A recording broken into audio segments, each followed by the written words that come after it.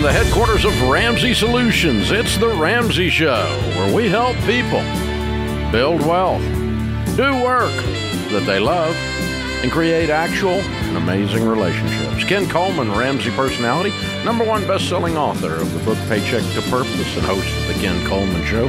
He's my co-host today. He talks about jobs and careers and money and, well, doing it in a way that you love it.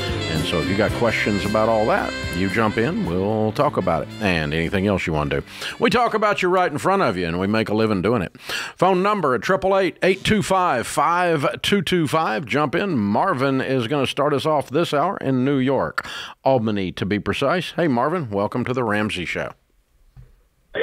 Um, hi, Dave and Ken. Um, privilege uh, um, to be able to speaking with you. Um, um, um, thank you very much for all that you do. Well, thank you. How can we help? so, so uh, real brief. I'm 40. my wife is 34 right? So we've been married for 12 years and started a turf grass consulting business uh, with the money that we received um, from our wedding. Right, so we do work for um, um, local mom and pop golf courses and conduct um, field trials for um, plant protectant manufacturers.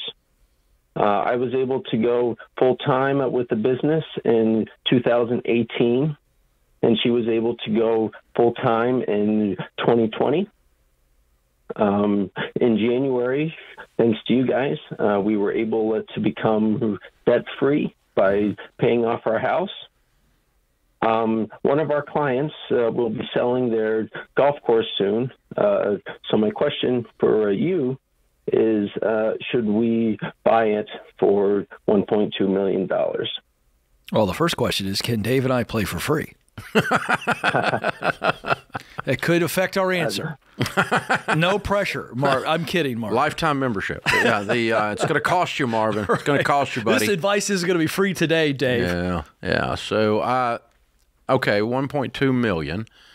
And so yep. this thing is uh, has a net profit after all salaries are paid, including whatever the owner is paying himself to manage the course because it's a mom and pop. Um, yep. This thing is making um, three hundred thousand a year. Uh, uh, no, it's doing uh, doing about uh, one one fifty to to a two hundred uh, net. Okay. So why in the world would you pay one point two for that? That's well, overpriced. Um, yeah, I, I, I mean, um, you know, I, I I know know know the golf course business uh, fairly well. The uh, uh, infrastructure in the in the golf course uh, business, um, the the the uh, the worth that comes from the assets, right? So meaning, right, so golf carts, right, maintenance equipment, uh, things like that. Yeah, no, the worth and, doesn't come from that. No, those things only have a value to the extent they create a profit. Okay. If all of those things created zero profit, you would have what's known as a hobby. Okay. Not a business. And so the golf carts, the infrastructure, the quality of the turf, the everything there, the name, the reputation in the community, uh, the area of town it's in, all of that goes to create one thing profit. And the way you calculate okay. profit is net profit uh, a, a small business is worth a maximum of five times net profit. Five times net profit. Yeah, that's a twenty. That's a twenty percent rate of return. And okay. you know, small business purchase is a very high risk purchase, and so you would want at least a twenty percent rate of return. And that's after. It, it, that's if you're an absentee owner, and so let's say I bought it for in Tennessee, okay, and mm-hmm. I I had to hire a manager and I had to hire every single staff member that was needed. Not you get to work over there for free, or the a former owner gets to work over there for free, and thereby increase the profits. You follow me? Yes, so, I do. Real profits for an absentee investor. This is how you calculate the value of a small business transfer, and uh, it's called a cap rate process, capitalization rate. Um, the only other way you could cal- calculate the value is the what's called book value, which would be considerably less, and that is if you took all if you bought it and you sold off all the assets, You sold off the golf Right. carts. You sold off the real estate. You sold off the. Uh, you collected the receivables. You paid the payables, and that's book value. That should be less than four times, five times net profit. It should be. Okay. Uh, but that's that's if you were going to disband the whole operation, and it's worth more shut down than it is operationally. Then, and I, I Right. doubt that's the case here. Because I got to tell you, man, I'm I don't know a ton about the golf business, but there's kind of a joke in the investment world that the guy that makes the money on a golf course is the second owner. The guy that makes the money on a ski slope is the second owner, because the first Yep. one usually goes bankrupt. There's not Right, much. There's I've not much that. margin or spread in that world, Very low margins.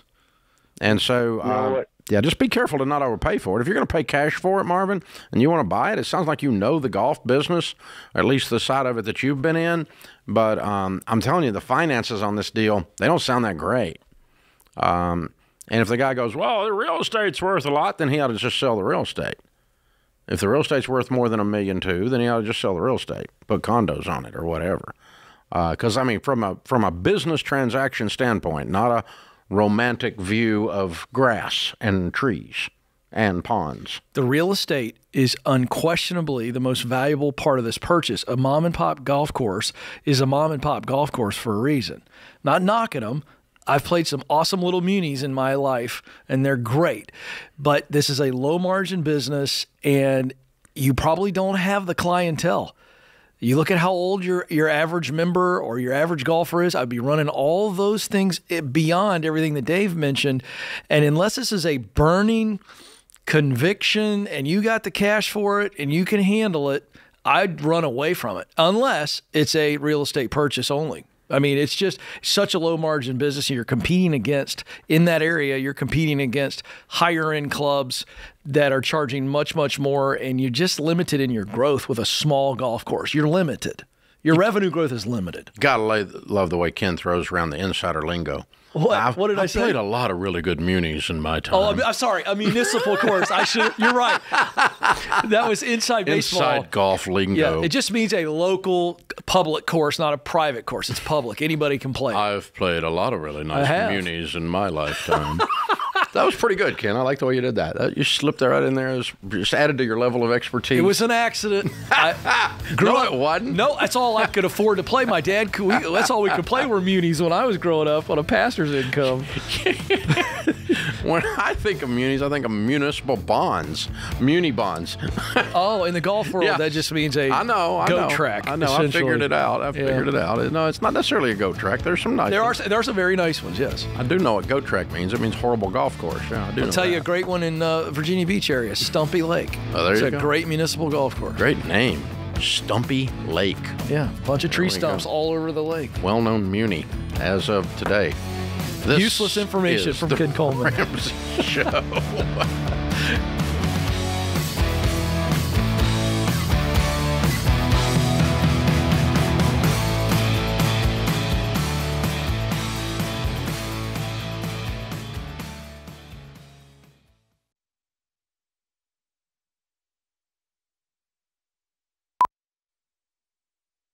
Hey folks, Dr. John Deloney here with some great news. You get to choose.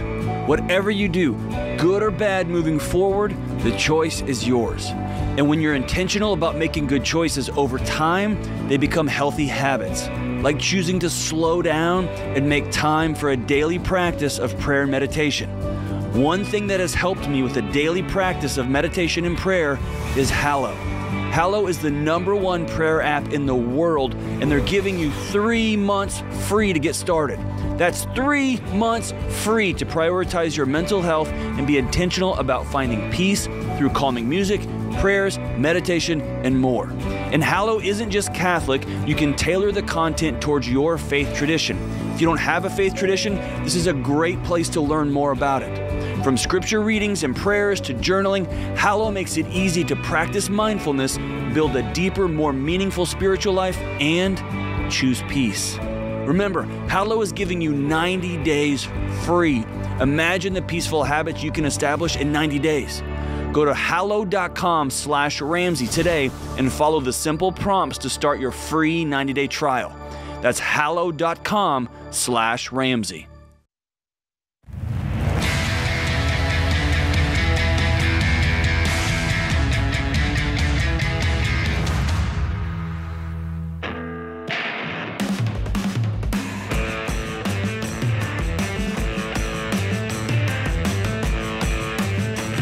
Ken Coleman, Ramsey Personalities, my co host today. Thanks for being with us, America. We appreciate you hanging out.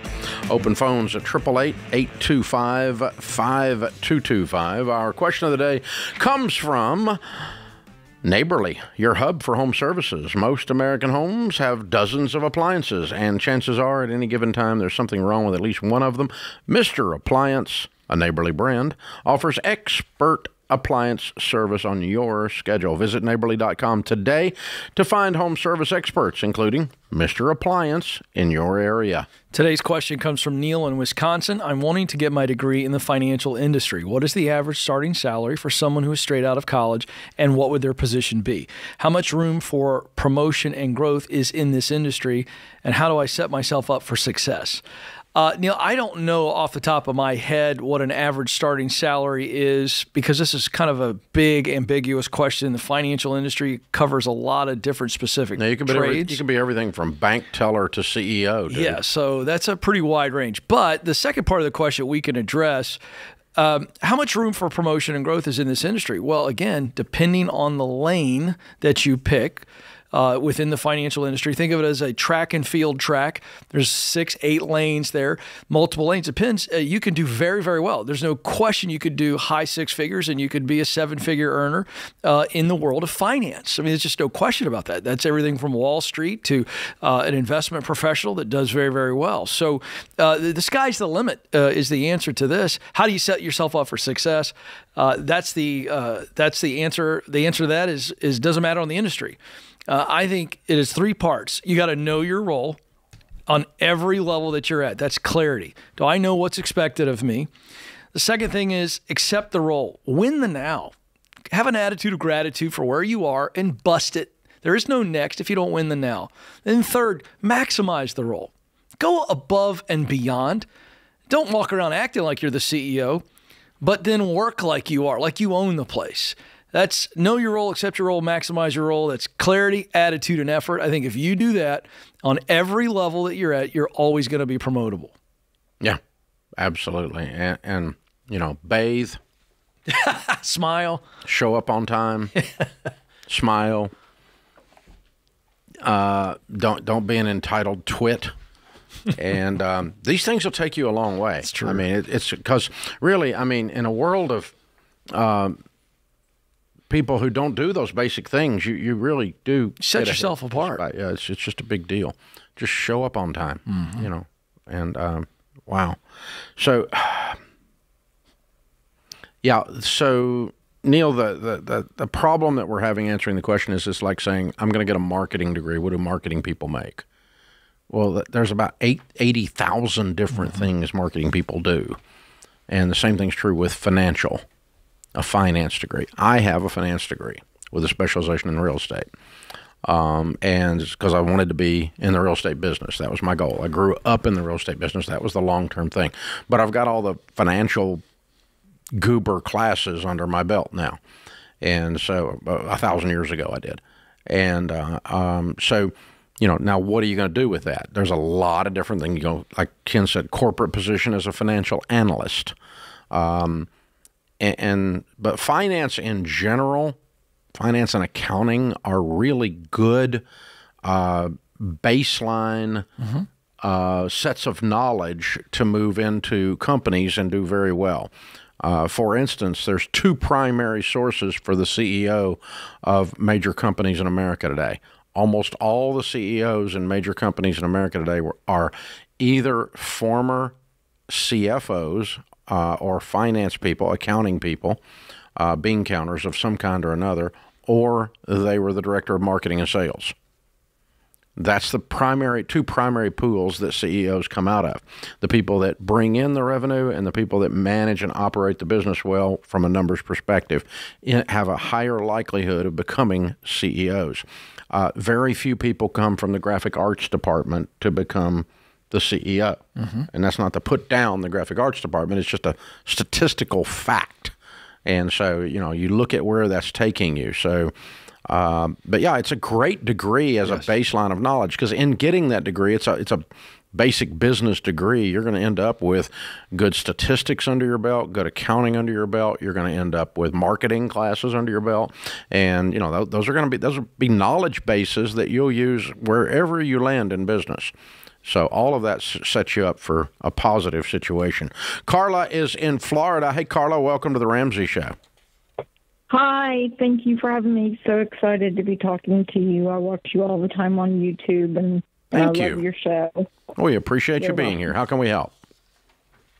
So I have some questions. I've been plowing through my baby steps and especially paying off like credit cards. Good for you. and I I don't have anything saved up in retirement. I'm a nurse. I've been a nurse for 25 years. I make 138,000 plus a year. Uh, my home is paid off. My biggest expense is my car, which I owe 23,000 on, and my interest rate is 4.4 percent. So I first I'm going through these baby steps, but I was paying off cards yesterday, so I paid off six, cut them up, Way to go. threw away all the papers so that I wouldn't be tempted to call them back for a new car. And now I ran into the next one that I wanted to pay off, and they said if I pay it off, see, this one has an annual fee. And they said if I paid it off, it was going to ding my credit and that, you know, just keep the card and pay the annual fee. But I was like, well, how much is that going to ding my credit and does that matter mm-hmm. because that's the next card to pay off i have five more to pay off So wait a minute, let me get this straight. A do. credit card company told you it's not a good idea to get rid of a credit card. Right No. they said keep it open You're because it was going to hurt my credit if i closed it Yeah, of course they did. Yeah. Well, it is. It's gonna. It is gonna damage your credit score. So, the question is this: Where is it we're trying to get to? Is is a credit score your goal, or is money your goal? um retirement is my goal Yeah. having And by the way, I've know, had people try to boil their credit score. You can't eat it. It's Right. worthless. You know what a credit score is good Yeah. for? There's only one thing a credit score is good for. You know what it is? get more credit Borrowing more money, going into Yeah. debt, which is kind of the opposite of having money for retirement. It's the opposite of what you're trying to accomplish right now. So if your goal Right. is to get rid of your debt so that you have some money, who cares about your credit score? yeah and you know i i You drove right past like that. You didn't even get it. Karma. yeah How old are you? i am 60 You are killing it with 138,000, girl. Mm-hmm. I'm proud of you. Very good. yeah Let's get these cards Thank chopped up and get rid of this car payment and start piling up some money. So five or six years from now, you've got two hundred fifty, three hundred thousand dollars set aside. And just quit screwing So around my with credit card car, companies. If I can, if I can pay all my cards off within the next two months, and then then knock out that twenty-three thousand dollar car loan, in a year, and then oh, you can do it faster than that. You make one hundred and thirty. You ain't got anything else to do. This is important. well, I I do help my mom and my daughter out. Well, Um, to the ex- how much do you give them? Um, I pay my mother's car insurance. And my daughter about five hundred. You're paying an eighty-five-year-old's car insurance. Yeah. Does that seem weird to you? That's scary well, yeah, to me. but she's only living on Social Security. Yeah, I know. So where's the Um, 85 year old driving to? To church and to the grocery store. Yeah, thought so. This is pretty expensive trips. So um, you need to think through what where your money's going and get control of it. And for sure, we don't take advice from credit card companies on anything. All we do to them is say bye bye, see ya. Wouldn't want to be ya. You are the cigarette of the financial world, you credit card goobers.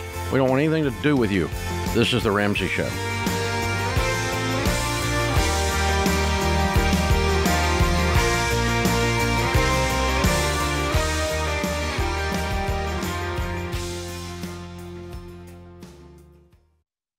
Hey guys, being free to make your own medical decisions is a big deal these days.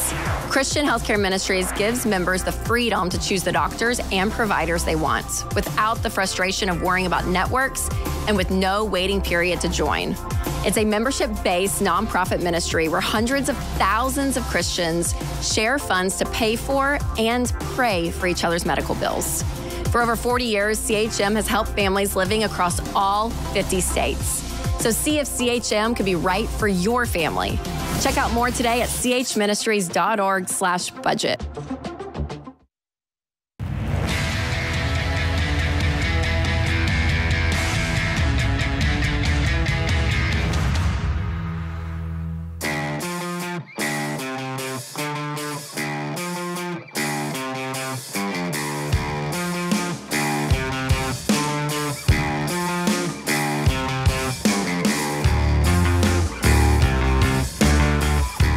Ken Coleman, Ramsey Personality, is my co host today. Thank you for joining us, America. I'm Dave Ramsey, your host. Open phones at 888 825 5225. Ben is in New York. Hi, Ben. Welcome to The Ramsey Show.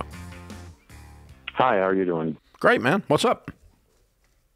Um, I am currently living with my parents. I am 29. Um, I've been saving for several years now, and I'm trying to figure out if I am ready to uh, buy a house and if I can afford to you know, get my own place at this point. Okay. How much do you have saved? Uh, 100K. Okay. Uh, what keeps you from leaving there and buying a house? Um, well, I was mostly just trying to reach a certain. I was trying to reach that goal of 100 100k saved. Okay, you got 100k. you got 100k. Yeah. I mean, common sense tells me you could go buy a house in Albany with 100k. You're 29 years old. How much do you make? Uh, about 70, 75. Cool. All right. I, I would definitely do it, like this week. you think you think that's a good idea? Because I, I didn't want to rent was the thing. I didn't want to be throwing out money. You know, dude. Impulsive like is not on your list of things to do. Yeah. We don't have to worry about you being impulsive. You're 29. You live at home. You're not impulsive. Okay. Right. Time to go. Yes. Go get you a house. Get you a life. Yeah, for sure. No, I like it. I love it, man. So, uh, how much do you make again? Seventy. What do you uh, do? Seventy. Um, I work in accounting. Okay. You are risk averse, aren't you? Man, you're just. Hey, um, it's time, man. Go out in the sun, see the sunshine. the uh, the uh, the you, you are a numbers dude. I love you. I'm a nerd. I'm a numbers nerd too, man. So I'm right there with you, Ben. You've been crunching numbers and crunching numbers and crunching numbers. And the problem with those numbers nerds is, and you're you're one, I'm one, so I'm owning it with you. We can get paralysis of the analysis, and you have a bad case. Sure. Get a house. Yeah, no, get a life. Mm-hmm. Go go go Don't do worry, something. I mean Go have some fun, man. Go get yeah. you know, and and tell your mama you love her, and you'll see her in five months. Yeah. I mean, and, she gonna be she gonna be glad to get rid of you. I promise. I don't think she is actually. Well, I think I, that's part of the problem. He's an easy guy to live with. He, he's he not is, a problem. He's not. But let me tell you like, something. It's not like he's having parties in the basement or something. We're here, seeing so. more and more of this, and I'm not picking on no, Ben, but I do want to say this. Ben, go there's, buy a house. There's two things that are going on. Number one, he's got the analysis paralysis situation. Yeah. But he also, along with the fear of change, is how comfortable he is at mom's house. And that can just keep you when you because you can justify staying by using the numbers. And I think you got to be realistic. How much of this is I'm just afraid to kind of go out and start adulting? That wasn't even a term 10 years ago, and I hate saying it. I'm a little embarrassed that I even uttered it. Yeah. But I mean, it's time for a lot Muni. of. a great callback. Uh, but yeah, I, I, just think we got too many young 20 somethings that are just terrified of change. And we got to no, call I, that Let out. me just tell you when, when, you're out there and on the wire and there's no net, uh, it is terrifying. Yeah, it's also exhilarating. And it, it, it's also what makes you a man or makes you a woman, my son. Yeah. So, yeah.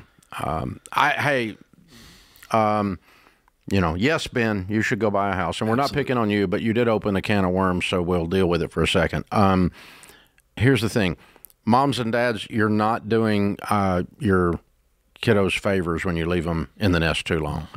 A eagle that stays in the nest too long becomes known as a turkey. And Ben, I didn't just call you a turkey. I'm talking about a concept here. Okay, so Ben, you're you're free from this. You, we're, we're, we love you. We're happy for you. We're glad you got 100k. You need to buy a house in the next month, and you need to move immediately, for your sake. And uh, it's good. It's good. You you know we're there. But uh, so our, our oldest, when she came out of school, easy kid, Oh yeah, Denise. to this day. She's just a pleasant, easy person, and um, and she moved back to. Our, she's the only one of them that moved back to our house after college, and uh, she was waiting on a, a roommate situation to develop so she could go get the the first rental property, right? Uh, and um, so she's living there for about uh, two months, and we said, "Okay, that's probably enough." And she's like, "What?" I'm like, "You, you know, you you got to you got to get this done." because not because we don't like you. She, she was not in our way. She's like Ben. She could have lived there and we wouldn't, have, we wouldn't have noticed. She, she'd been there until she's 29. We wouldn't have noticed. But uh, we're like, no, you, you are missing out on life when, when you're 22, 23, 25 years old and you live in your mama's basement. You're missing out on life. Yeah. And so you need to go be somebody. And um, it breaks our heart because we love you. We, we like having you around, but uh, it's not about us. It's about you and your development as a person, your uh, emotional, your psychological, your spiritual development, your financial development. You become a different person when you buy your own eggs and pay your own light bill and fold your own clothes. Or don't, but they're your clothes. Yeah. And that it, it just changes. There's a little thing happens there, little different thing. And yeah. again, Ben, for God's sakes, we're not picking on you. Okay, we're not. We're, you called up. You're a nice young man. We appreciate you. None of this is aimed at you. But I'm just telling you, folks, moms and dads, you are stunting their growth. Hundred percent. Reminds me of that movie with Matthew McConaughey, oh, Failure to Launch. horrible movie. I don't know. I think it's a great Matthew rom-com. Matthew has done some really good work in his life, and that is not on the list. This is exciting, folks. Dave Ramsey with a strong opinion on a rom com. I, I I never thought I'd see the day. I this mean, is come great. on. If your co-star is Terry Bradshaw, I'm just saying. You're right. Okay. The quality of the script writing was low. I, I'll give you that. But but when Stacey wants to see it, I say okay. Yeah, well, yeah, yeah there, there is that. I'm blaming it on her. Uh, yeah, I would. I'm blaming it on you, but we're all right. Joe is in Louisville, Kentucky. Hi, Joe. What's up?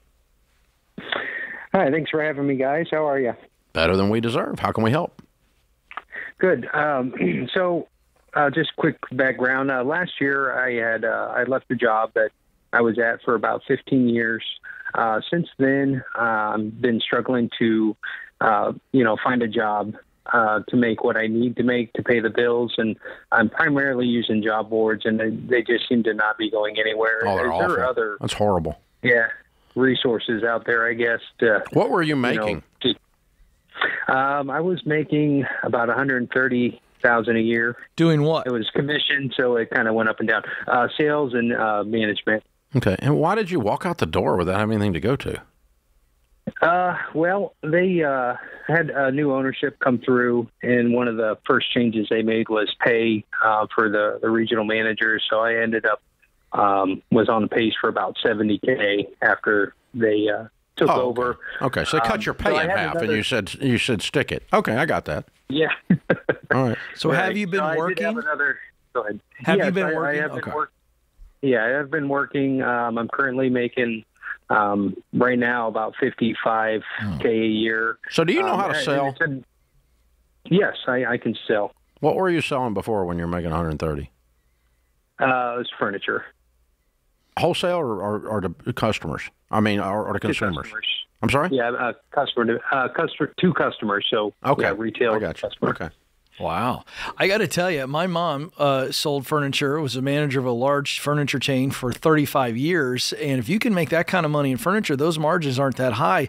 Uh, you've got a lot of options in front of you right now, a lot. And you've got to stop job boarding and you've got to start, start having coffee with people that you know, You know civic a clubs, churches. You know people. And look, you can sell anything. You're not a guy who's stuck in an industry. In other words, you aren't just effective in the furniture industry. You know a product, you know a service. Not only can you sell it, Joe, but you led a team of people. Medical understood medical you. device sales, you can make two and a quarter. Easy, easy.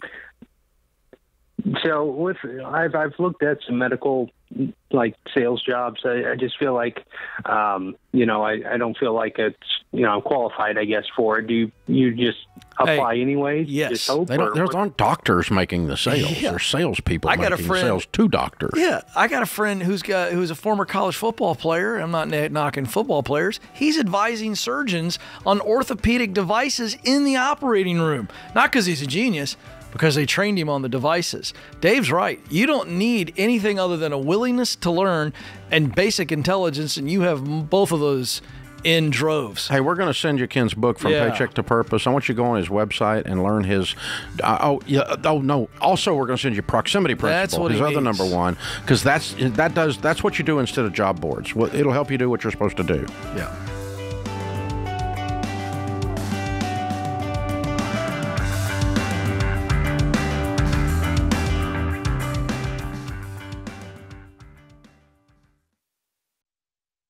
If you're like most people, your home is your most valuable asset. And when you want to make improvements, it can feel like everything costs too much or takes too long.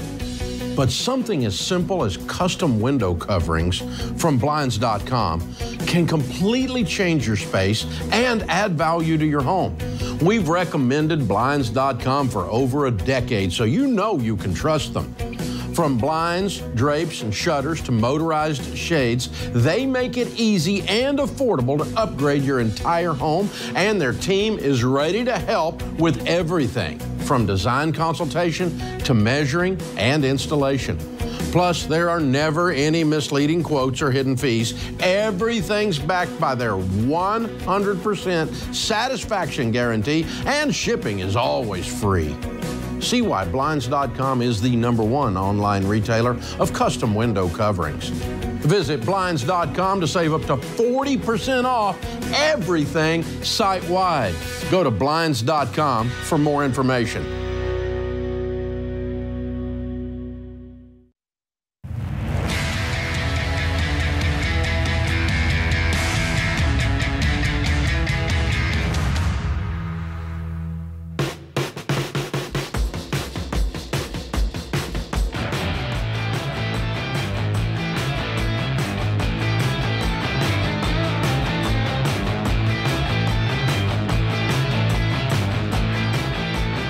Phones at 888-825-5225. Ken Coleman, Ramsey Personalities, my co-host. Evan is in Indianapolis. Hi, Evan. How are you? Good. How are you? Better than I deserve. What's up? Um, so I'm a young guy. Last couple years, um, I'm a I'm a numbers cruncher, and my numbers aren't crunching anymore. I'm not able to build my savings, and I'm not sure what to do with it. Okay. What do you make? Uh, I make twenty seven fifty an hour. Okay. And uh, so what is that, about 70 a year? Um, No, it's more like I'm- 60 a year, isn't it? yeah, yeah. Okay. What do you do?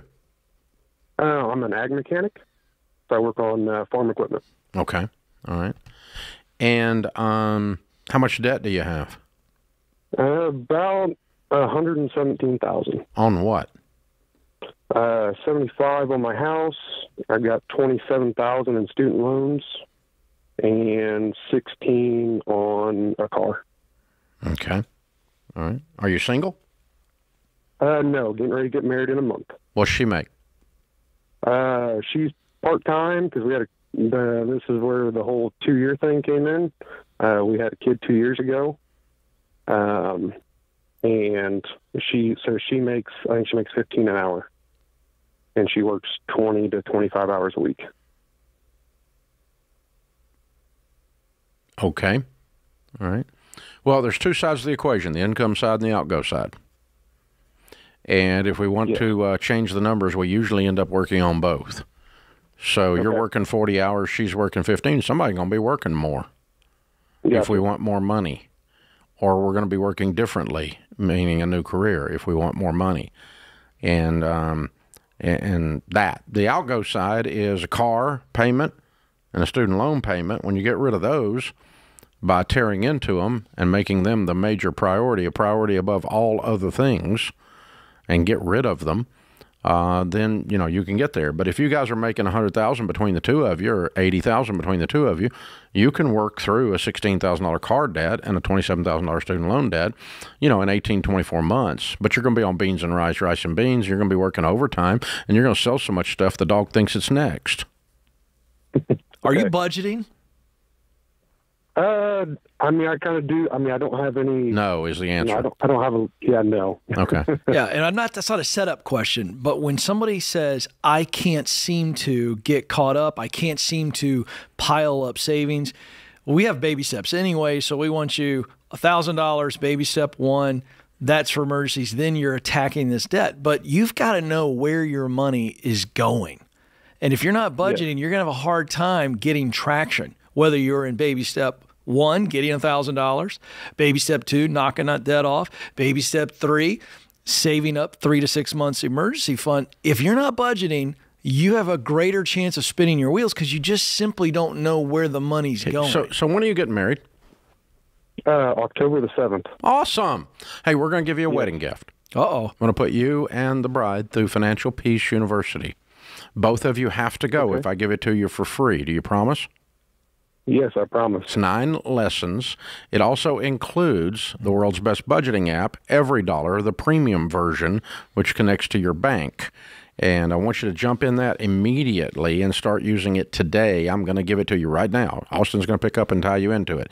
But get on the EveryDollar app, like Ken was saying. Because here's what we find research has shown across the general population that when people start doing a written budget each month, they have a 10 to a 15% lift in their money because there's that much in lost in just disorganization and impulse spending. Uh, we find it's actually more than that because the people we're dealing with are different than the general public. The people we're dealing with are like you, Evan. They're sick and tired of being sick and tired, and they're about ready to bust into something. And so they lean in even harder on that budget and they make every one of those dollars squeal. They make every one of those dollars behave. And that's why we even call the budget every dollar. Every dollar has an assignment. And that's why the budgeting app is called that. Every dollar has a name, every dollar has an assignment. And so you're just going to get um, uh, merciless on making the money that the two of you have coming in behave and squeeze every dime out of it, increase your income, decrease your outgo, and then walk these baby steps. And Financial Peace University will help you do that. And uh, certainly the EveryDollar budgeting app will help you do that. So ch- check those out. We're going to give them to you free as a wedding gift and get you started because I've been right where you are. Evan, when people say, Ken, Ken caught that beautifully, because I used to say that too. I can't seem to get, and what that usually means is I haven't been able to out earn my disorganization. I haven't been able to out earn my stupidity. I haven't been able to out earn my impulse spending. I haven't been able to out earn my lack of a plan. Mm. And nobody can, by the way. And I used to think I'd just go get more money because I'm an abundance guy. Mm-hmm. And I would go get more money and then I would screw it up. you know, and so, you know, you've got to make the money that you have behave.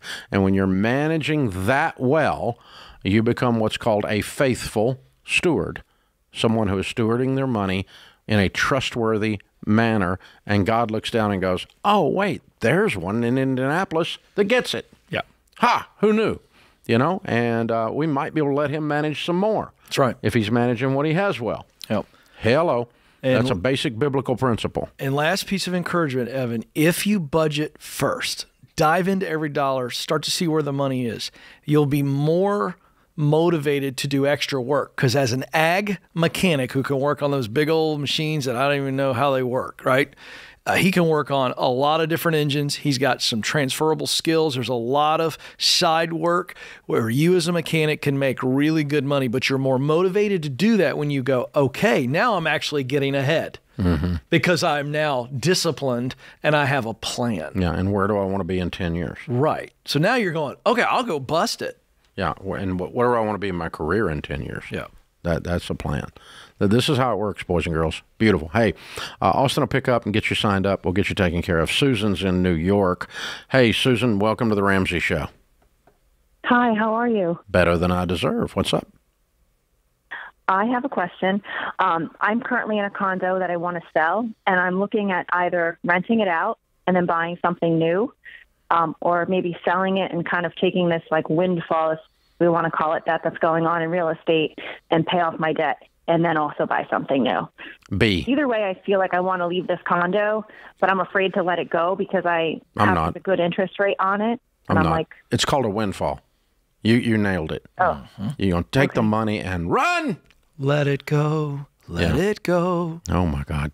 How about that, Dave? You didn't see that coming. No, you're right. That was on key, by And I hope way. I never see it coming again. Jade did the exact same thing yesterday, but it was a little better. well, Jade is a lot better than me. Let's Jade just has a call voice. it out. Yeah. No, so anyway, yeah, Susan, we've been interrupted here by a solo that was uninvited. It made the so point. the deal is this: um, we, yeah, you don't want to keep the condo because you're becoming a landlord by default, not by intent. If you own another house and you were debt free, and you had a pile of, you know, and you wouldn't go borrow on that house in order to buy a condo in the city. You just wouldn't do it. And effectively, by not selling this, it's the same thing as if you bought it, you know, in terms of a balance sheet or in terms of the decision making paradigm. And so, yeah, you're much better off to, I can't even say it. Yeah, Let see, it you go. tried- you went there. Yeah, yeah, You it go. caught I- I- yourself. yeah, yeah, it's just, uh, okay, I got to chill. But yeah, let it go. Yeah, that's what you need to do. And, You're going to be humming that around the house tonight. Oh, and no, Sharon's going to be like, What are you doing? You're going to be like, Coleman. who are you? and What That's all you need to say. my She'll understand. It's She'll all Ken understand. Coleman's fault. Uh, She'll understand. So many things are. But hey, right. you've taught this for years. The idea of being a, a, a landlord, by long default. distance and, and- or even or even distance. local, it work. creates headaches. Yeah, just, you know, yes, real estate's a good investment, but very few people back into it. Mm-hmm. You need to walk into it with cash after you got the rest of your finances straightened out. So sell it, Susan. Sell it, please. That's what I would do if I woke up in your shoes. And thank you for the call. This is the Ramsey Show.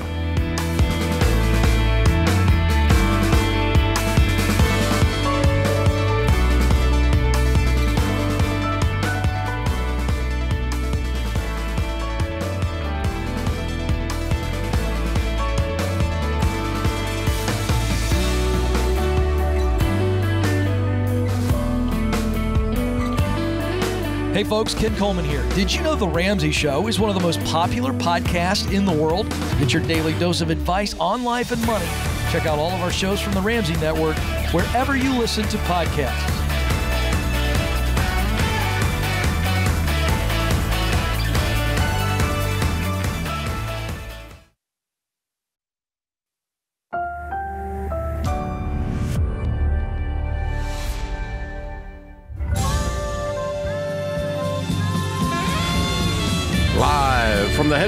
Ramsey Solutions, it's the Ramsey Show, where we help people build wealth, do work that they love, and create actual amazing relationships. Thank you for joining us. Ken Coleman, Ramsey personality, host of The Ken Coleman Show, and author of the number one best selling book, From Paycheck to Purpose, is my co host as we talk about your job, your life, your money, your where your money comes from, your work. Ken is an expert in that area and he can help. So jump in. The phone number is 888-825-5225. Jim is with us in Vancouver. Hi, Jim. Welcome to the Ramsey Show. Hi, Dave. Thanks for having me on. Sure. What's up? Um, I'm calling from just outside Vancouver in British Columbia here. Mm-hmm. And basically, I was wondering if it was smarter for me to buy a house or start start a business first. And if you would think buying a house would be smarter, how would I go about that with today's like housing market? Buying a house in terms of to live in as your home or uh, as a rental property? It would be to live in as my own, ideally with a suite to rent out, but that might be further down the line. Mm-hmm. Okay. Are you single? I'm single, yeah. What do you make? Um, I'm 20 and I still do live with my parents, but I currently make 35 bucks an hour. Mm-hmm. What's the business you want to start? Um, it would be in the um, equipment services and welding um, industry. Mm-hmm. Okay. I, I, obviously, you know how to uh, do equipment services and welding. Uh, where are you going to get your customers? Uh, so I got quite a few connections from past jobs at farms and whatnot from when I was a bit younger. So I would be able to get a lot of customers in the agricultural um, type of work. Is that business going to Why are they require? gonna- oh, go ahead. Go ahead. Well, what I'm getting at is he said house or start business, and so I'm wondering, is there a lot of capital outlay? Like, are you going to have to put a lot of money into this to launch this business idea? Um, so I, again, I haven't really put a whole lot of thought. Like I get, I put a lot of thought towards starting the business, but I haven't really tallied up the numbers because um, I've just been told that for buying a house, if you're self-employed, the bank doesn't look super highly on that. Rather than if you make a steady income at a place that's been around for a lot longer. They're going to want to see two. Well, in America, they're going to want to see two tax or two years of tax returns. I don't know what it is in British Columbia, but two years of tax returns as a self-employed person proves you make money. Other than that, there's no problem at all being self-employed. But uh, but obviously, you can't move in there with. Uh, and again, I do not know the mortgage process in uh, British Columbia. I can't comment on that. I'm ignorant about it. So, but you'd have to find that out. But I think you're probably, you know, you're on the right track there with that issue. Um, how much money do you have saved? Um, so I currently have thirty-five thousand in my savings, and then I got just under thirty thousand invested. Okay, good for you. All right. And um, you you are in the welding and uh, equipment services business now, making thirty five dollars an hour. That's correct. Okay, and so are, are do you have the ability to do side jobs in the same industry without uh, stepping on your current employer's customers or stealing from them in any way? Yes, that's that's the other thing that I said. Sorry, in my email earlier. I never mentioned Your your phone's that, breaking but, up. I didn't understand you. Try again.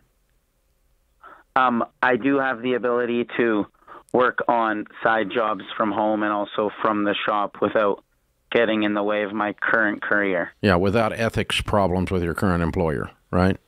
Exactly. Okay. All right. So what I would do is uh, I would not start my business full time. I would start it part time and and start doing some side gigs, and I would go get me a rental pro a, a, a place to rent and just you know move out of your parents' house. You're 20 years old, um, and I would not buy a house right now. I would just keep piling up cash. You got plenty of time. Uh, there's nothing to do with the housing market. It's got to do with where you are. And then I want you to build up that side gig, build up that side gig to where you're making more with it than you are during your day job. Then you're ready to quit and run your job, run your business full time. The big deal here that you're going to discover, Jim, and I want you to discover this by actually doing it, not not in theory, not discussing it. Uh, what you're going to discover is is that doing the welding and being an excellent welder is a different skill set than running a business. Yeah. You can be an excellent technician and still run the business poorly.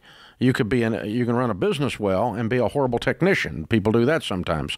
But uh, what often happens is someone is a great chef, and so they automatically assume they need a restaurant. Well, it's a completely different thing to run a restaurant than it is to be a chef. The only thing that's in Yeah. common is food. That's the only thing. I mean, chef is one skill, operating a business is another skill. And that, that's what I'm seeing with you. So I, I think you're probably very good at what you do. You sound very competent and confident. And um, so I would want you to, to just build this up on the side. What do you think? Yeah, the only thing I'd add to that is while you're doing the work on the side, see, there's no risk here. You're not all in. You got a great job, no conflict of interest. And now I'm learning the business with zero risk. And Dave's right. There's a process of welding, and then there's I'm selling these parts, and that's a whole different ballgame. Then I'm running my business. And while I'm doing it on the side, I'm learning by experience, but I'm also going to sit with people who are winning in the industry. I will tell you this, Dave. I think the most underrated question in the history of the world is Will you help me? And will you help me in this case, a young man who's 20 who approaches a guy maybe in his 30s or 40s or 50s or 60s and says, Hey, I want to get into this business one day. Can I buy your lunch or coffee? And will you just tell you me what me? I need to know? Will you help and me? you helping me is you just giving me some knowledge and some wisdom. And I have found that successful people are very willing to help that person who asked that question and shows up with a willingness to learn, pad and paper, notes on your phone. I don't care how you do it. And if you do that, here's what happens. Now you get all this wisdom and knowledge from somebody who's been way out in front of you, and then you begin to apply it on the side. And Dave's right. That picks right back up where Dave's advice is. At some point, you're going to scale it to the point where you can walk away from the day job right into working for yourself. But there's no risk here. And patience is the key. It's hard to be patient when you're 20. I mean, crap, it's hard for me to be patient at 49, but it's really hard to be patient when you're 20. But patience is what sets you up for the long haul. And I think mm. that's the that's the only thing I'd add to what you said. I thought the advice was fantastic. So, don't buy a house. No. Move out. Don't start your business full time. Start it part time. Build it up. Build it up. Build it up. Build it up. Learn the business skills. And I'll send you a copy of our number one best selling book, EntreLeadership, Yeah, great. which is how we show people what our playbook has been on running a business, how we grew the Ramsey Solutions business from a card table in my living room to now almost 1,100 folks on the team and over 300 million a year in revenue. And we'll show you how we did that. And so, but that's the skill set. It's a different set of skills than welding. And you, you got to be good at both to make this work. This is The Ramsey Show.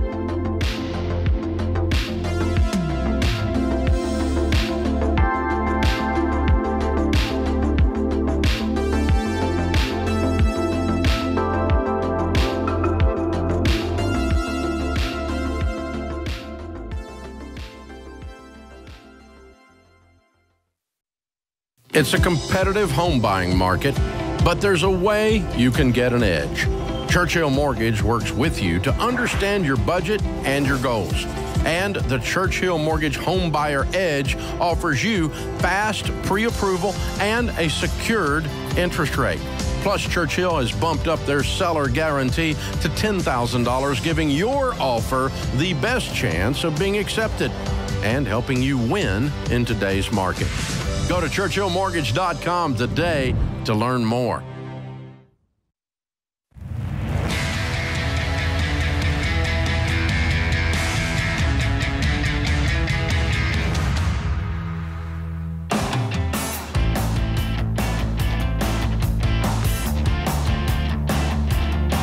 Ken Coleman, Ramsey Personality, is my co host. Thanks for being here, America. Open phones at 888 825 5225. You jump in and we will talk. Joe is in Lake Charles, Louisiana. Hi, Joe. Welcome to the Ramsey Show. Yes, sir. Thank y'all for taking my call. Sure. What's up? So my question today is um, an, a couple at our church is offering to owner finance their house to us, and I'm just calling to see if that is going to be a smart play with my current situation. Okay. Um, well, we t- you know we can check your current situation. So, how much debt do you have? Um, right now we're on baby step two. We still have about 40, 42,000, um, Mm-hmm. which ranges from a credit card, car note. What's your household medical. income? Um, sixty-five to seventy thousand. So, when do you plan to do be done with the forty-two? Um, we're we're snowballing. I mean, by two two and a half, three years Okay. would be Yeah, that sounds reasonable.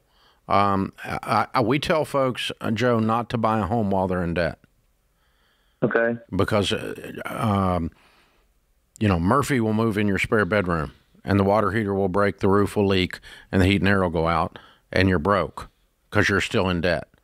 And then you got a real mess on your hands. So, what appears to be a blessing because of the timing is not going to be a blessing. It would end up being a curse. So, I would tell you to wait. And that may mean that this couple sells the house to someone else, and that's fine. And you'll, you know, God will have something else for you. There'll be another plan when you're ready and you have a good emergency fund and a good down payment and you have no debt. And you move into a house in that situation, the house can be a blessing, not a curse. But when you move into a house broke, you just get broker. That's why they call them brokers. You know, it's just it's a bad idea. Don't do it. Don't do it. James, is that ready? Yeah. Okay. All right. So, uh, they sent me this thing. Ah, God, Ken, this I don't know if you saw this or not. I haven't seen this. This is a very exciting. little bit. It's not exciting. It's Oh, scary. it's not? Okay. It's scary. So, I mean, we get scam stuff all the time. People using my name. and, Oh, you know, yeah. people using, you know, saying Dave Ramsey said do this, Dave Ramsey said do that, and it's like, well, of course Dave Ramsey didn't say to do that. That's dumb. He wouldn't do that. That's and you know anybody that knows us know the, these things. But then people that don't know us, they think I'm endorsing, you know, bullcrap. So this one pops up. This one's scary because it's AI. That's what I was going to ask you. Yeah. So th- you, you gonna play it? Play it. This is on Instagram. This is the dumbest thing I've seen, and I don't know when. Total credit card debt surged to 1.03 trillion dollars. It marks the highest level ever on record. That part's all in real. the Fed, dating back all the way to 2003. Um, I have about sixteen thousand dollars worth of worth of debt. Um, it includes a car, a credit card, the medical debt from the birth of our son. Okay, so what you need to do, and this applies to my listeners at home who Oh, have debt, bad. is go apply for an economic recovery package today. Do you hear me? Yes, sir. The fastest way is to settle it and pay pennies on the dollar for what you owe. And you can do that using a free service through the Economic Recovery Program today. Thank you, sir. Wow. Hey, we love you. You hold on a second. Kelly's going to pick up, okay? Yeah, the make sure economic you get taken recovery package and pay pennies on the dollar. And you, of course, you swipe down and you go to this website to buy their crap. And uh, and obviously, I mean, I was said AI when I first heard it on my computer. It was AI, but when I heard it now, just now in Oh, the no, that's- studio, that doesn't. It's not even AI. It's just a bad voice. Yeah, he got one little close. phrase. He got one little phrase that was close, but to somebody who doesn't listen to you much and did a drive by on YouTube, that's nasty. That is really That's bad. a- it was an Instagram thing. So we, of course, we got the attorneys on it. We'll get them shut down. Instagram shut them down, but uh, then they pop back up as quick as you shut them down because it's you know it's Yeah, a scam. Like everywhere. whack a mole. Yeah, it's it, they're everywhere. But I, I, they just you know. You don't notice, but it changed from these earbuds in our ears to the microphone with our, in front of our face. It's exactly. And uh, and then the thing in front of your face, it makes it look like I'm saying it, and uh, and then closes out with with me actually closing the call out. Of course. You know. The ultimate deception. Yeah. Bookend it with actual real stuff from you. Yeah. It's very, you know, that make, all, that freaks all, me all, out. all fraudulently and in violation of copyright, by the way, too. But yeah, wow, wow. So no, we do not endorse the Economic Recovery Act, which doesn't even exist. Which, by, by the way, yeah, what a joke. does not exist. There's Yeah. no such thing. Economic Okay, Recovery and, and so and you can settle your debts for pennies on the dollar. Yeah, you can do that. But what this is is one of these scam uh, debt consolidation places. Yes. And uh, they're getting you into a debt consolidation process. And oh my But that part was brilliant because that's the kind of fooiness that we hear from DC. They say things like Economic Recovery Act, and we all go, "Oh, they're here to help." Yeah, economic. Yeah, yeah. You're right. That that's it's troubling though. It's troubling. Ronald Reagan had a famous quote. He said the most scary words in the English language are "I'm from the government and I'm here to help." Yeah, that's exactly right. Amen and amen. The Economic Recovery Act, and just just What does that even mean? Yeah, it's not even an act, by the way. Oh, it is an act, but it's not that kind of an act. Yeah. Wow. Wow, crazy If stuff. you're going to try to rip your voice off, practice a little better than that. Come on, I mean, man. It sounded like I was from California. Yeah. Not enough Tennessee in that. there was no twang in that. Doug is in Grand Rapids. Hey, Doug, what's up? Hey, Dave and Ken, how are you guys doing today? Better than we deserve. What's up? Hey, excellent. I'm glad I'm speaking to you guys. I've been listening to the show for about six years now, and it's a little bit embarrassing to state that uh, my wife and I are not completely out of debt yet because we're what I like to say, and I hear you say on the show all the time, we're sort of Ramsey-ish. Mm-hmm. Um, we did successfully pay off eighty-eight thousand dollars of student loans That's in good. 2021. That's good. Um, huge weight lifted off the shoulders, and with all the student loan speak going on right now, it's amazing to not have to deal with that.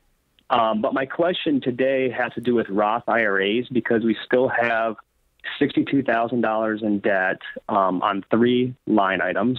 Two of them are cars, and one is a camper. Um, How much do you owe on your camper? Camper, we owe twenty-four thousand. Okay, so one third of this is a camper. Okay. Yep. Yep. And the other forty or thirty-eight thousand is broken into how many? What kind of car? How much Uh, on we have a 27 on the Tahoe and nine or almost 10,000 on an Edge. Okay. All right. So you have a car and a camper problem. Okay. Yep. um, now, What's your household that, income? We bring in gross about 160 a year, so we're only at about 41% of our annual income, so we're a little bit below the 50% that you teach. Okay. And so, and, and you want to pull out your Roth? Well, the question is because I've actually listened to the show for six years and I've never heard this question, so I may have a good one. Um, and I know you teach not to pull from retirement because of the penalties and taxes associated with doing that. But in our case, we each, my wife and I, each have a Roth IRA. In my name, I have a Roth of ten thousand dollars, um, and she's got five thousand in her name. And my question was about the cash equivalents because No. obviously after tax dollars. Absolutely not. This is not a Roth problem or a tax problem or a penalty problem. This is a Doug problem. Mm-hmm. Doug, really? Behavior. You make a hundred and sixty grand, and you owe money on a camper? Yeah. Come on. Well, we do. We and you want to cash on a out your camper, but- freaking retirement for a camper? no. We also rent that out through. No. Yeah. No, Dave, I'm in the camper investment business. No, you're not. Yeah. You know better than that. Dude. What's it worth? Do you have any it idea? doesn't matter. It doesn't matter. It, it's gone. Yeah, that's what I am mean, getting it's at. just Sell gone. It. It's depreciating. Either quickly. you pay these cars and these campers off in the next 18 mm-hmm. months out of your cash flow and you guys quit being ish or, mm-hmm. you know, because here's the problem you keep treating the symptom. And, you know, when you ta take this money out of retirement, and start with it's not enough to do spit, it's not enough money in there. But if you did take it out, you keep treating the symptom, and the symptom is the debt. The problem is the Doug. The Dougie. Okay, so so you gotta got you guys are gonna have to quit being ish. That's what we're saying. You're gonna have to get on a decent plan, get on it, get on EveryDollar. You and your wife sit down and go, okay, we knocked out eighty-eight thousand. Now we look kind of foolish sitting here with these debts, making 160 grand. We make too much money to be this freaking broke. You have no money in retirement, Doug. I mean, you have five thousand dollars. That's pitiful. It's pitiful. And you make $160,000 a year. Come on, man. This is The Ramsey Show.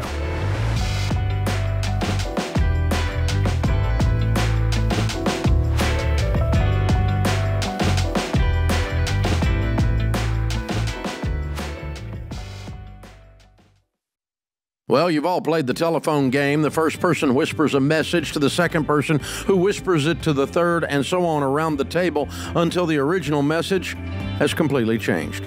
Multiply that confusion by a hundred if you run a business with different software systems that don't talk to each other. That's why there's NetSuite by Oracle. In the early days of Ramsey, we were using different systems for all of our business units. We needed one single source for accurate data. NetSuite was the software we used to optimize and take us to the next level. NetSuite gave us the visibility into all of our numbers so that we could communicate across departments and plan ahead better. And as we grew, it scaled with us. NetSuite worked for Ramsey, and it will make a difference for your business too. Join the more than 34,000 customers who trust NetSuite to help make them smarter and make better decisions and level up their operations. To learn more, get a free product tour at netsuite.com slash Ramsey. That's netsuite.com slash Ramsey.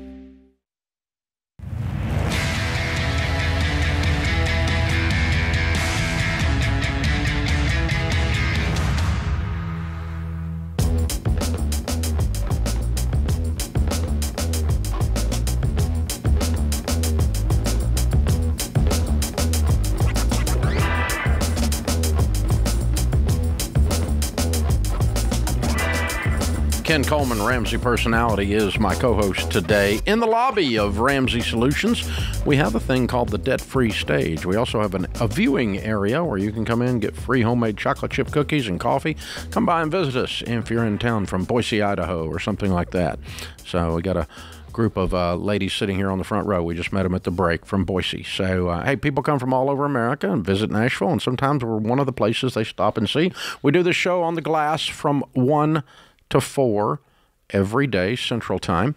And if you come and watch, uh, you'll agree that it's pretty much like watching ugly paint dry. But there you go. So. Mm. hey, I don't resemble that. Hey, hey, Watch out. What's happening? Hey, but also we have the debt-free stage in that lobby, and that's where Mike and Lindsay are. Hey guys, how are you? Hi. Hi, doing Dave. good. Welcome. Where do you guys live? St. Louis, Missouri. There we go. Awesome. And how much debt have you paid off? Uh, three hundred and sixty thousand. Yo, how long did that take? About thirty-two months. Good for you. And your range of income during that time? Uh, hundred and twenty thousand to three hundred and fifty thousand. Okay, in three years you double your over double your income. We did. Almost triple it. Yep. Wow. What do y'all do for a living? Uh, I am an internal medicine doctor. Ah, there we go. And I work in the financial services industry. Well, that's vague enough. Good. Okay. All right. Excellent. So now you, yeah. So that's a way to double or triple your income. The two of you. Yes. Excellent. Very good. So, uh, goodness, what kind of debt was the 360? Uh, mostly student loans. Uh-huh. About three hundred and forty-six thousand was student loans, and the rest. says the doc. Yeah. The rest was an investment loan and a car loan. Okay. Wow. Very cool. How long you been on med school? Uh, about well, out of medical school. No, I mean out of out of residency and everything. about three years. About three. So about this time. Yep. So you got out and you said, let's knock it out. Correct. Game on. Yep. All right. So what, how'd you get connected to this Ramsey stuff? What made y'all do this? Yeah, so um, we were probably Dave-ish. I had heard about the Dave Ramsey show before Lindsay and I got married, which was six years ago, and we were on our honeymoon. And uh, being the financial guy, I was uh, listening to the Dave Ramsey show podcast. Wow. Uh, and then Lindsay, uh, being like, I think she was reading a book. And she said, "What are you doing? What are you listening to?" And it was uh, the Dave Ramsey show. We listened to the podcast, um, and that's how we got first connected. And then uh, my family gifted us uh, FPU for Christmas as well. Ah, okay. And so then when she comes out of med school, no question how what we're going to do. Correct. We're going to knock this out. Pop. Done. Done. Done. Done. Very good. Lindsay, I got to ask you, as the doctor in your world, did you share the process, the journey as you were doing it? And if you did, uh, what did you find the reaction was? And and I'm just curious how many other people that are in your shoes, the doctors that are actually even thinking about getting after it the way you all did. Uh, yeah, I mean, we talk pretty openly about it. Um, and honestly, most of the people are not doing what we did. Uh, a lot of the people are doing public service loan forgiveness. Um, or they just kind of are on the, you know, 10, 20 year plan. They'll eventually pay it off. You know, they make enough money. Um, they want like the big expensive house or the fancy car and all that stuff. Doc-itis. Correct. Did they look at you, treat you like incredulously, like, what are you thinking? No, never that type of situation. Just Hmm. more so could tell that they didn't necessarily agree with it. Right. Like that would be nothing that they would ever do. Yeah. Yeah. But look at you. Yeah. Look at you. I'm completely free. 32 months. That's rowdy. Wow. That is very cool. What do you tell people the key to getting out of debt is? Because you're successful at it. Um, I would say my key is uh, the budget, and then also we we always had like really short term goals, but then also having the longer term goals. We were always having goals that we wanted to get done within like you know a month or two, and then also what's our goal five to ten years from now? Like what do we want life to look like? Hmm. So that's really what kept me going. Yeah, I I would say like consistency. Mm-hmm. So like we knew how much money was going towards debt, and we set that goal from the beginning and just kept on going. Um, and also, um, you guys have heard the phrase or used the phrase "dream dates." Mhm. Um, Mhm. That was that was huge for us. Like Yeah. keep us motivated, keep us going. Um, look to the future Mhm. uh, and what legacy we want to leave behind. Yeah. You got to have a vision. Correct. For, Absolutely. for your life. Correct. And uh, when you have a shared dream, then that's the living like no one else. So that later we get to live and give like no one else. And that you got to have that later, you know, in sight in high definition, and be able to tell what's really going on with it. Way to go, you guys! Way to go. I'm curious. I, I, I don't know if I don't know if I've ever asked uh, anybody this question, but you're a financial guy and you're in that world, and so you're pro- probably academically trained like I was, uh, the same way, uh, because there's probably uh, I don't know two or three hundred podcasts and radio shows on money out there. Uh, why? Why? What? What was it that a financial guy goes? Well, this is okay. I can listen to this. Yeah, I think for me it was honestly, before getting married to Lindsay, I didn't know debt or have debt. Um, Uh-oh. And I knew. He just threw you under the bus. I brought all the debt, And Dave. backed over. Yeah. Wait, all the debt. I did have an investment Plum, plum. loan and a small car loan, but Plum, um, but I think the biggest thing is we uh, knew before marriage that we wanted to tackle the debt, and with COVID and no interest, we wanted to get it out of our lives Yeah. for good. I mean, why Um, this? Why, why so we were could- you listening to this show? Dave, it's because of your personality. Oh my God! Uh, you Hold and on, I let me would, scoot over so his head can fit in here. Hold on. you and I. uh, no, I just really liked uh, the principles, the baby steps. Uh, Okay. Now we're on four, five, and six. It made sense. It made made sense. to clear me. path. The clear Correct. path made sense. Yeah. Correct. Okay. That that I'll buy. well, way to go, you guys. We're very proud of you. Congratulations. Thank you. And uh, also, you've had a baby. Yes, All right. And brought you brought him with you, right? we did. Yes. He's four now, no longer a baby. Yeah, that's right. Wow, very cool. Very cool. So six years married, four year old, and 32 months a- after med school. Boom, this is gone. Hey, we got a copy of the. Uh, Baby Steps Millionaires book for you in the Live and Give box, and the ba- the Total Money Makeover book, and a Financial Peace University membership. Probably got all those already, but you can give them away and uh, find somebody who wants them. And so, what's the four year old's name? Christopher. All right, Christopher, here we go, man. You ready? Your mom and dad have changed your life, buddy. You don't even know how much yet. You have a family tree that has been changed by, by two heroes right here. $360,000 paid off in 32 months, making 120 to 350. Mike, Lindsay, and Christopher from St. Louis. Count it down. Let's hear a debt-free scream. Three, two, one. We're debt free! Yeah!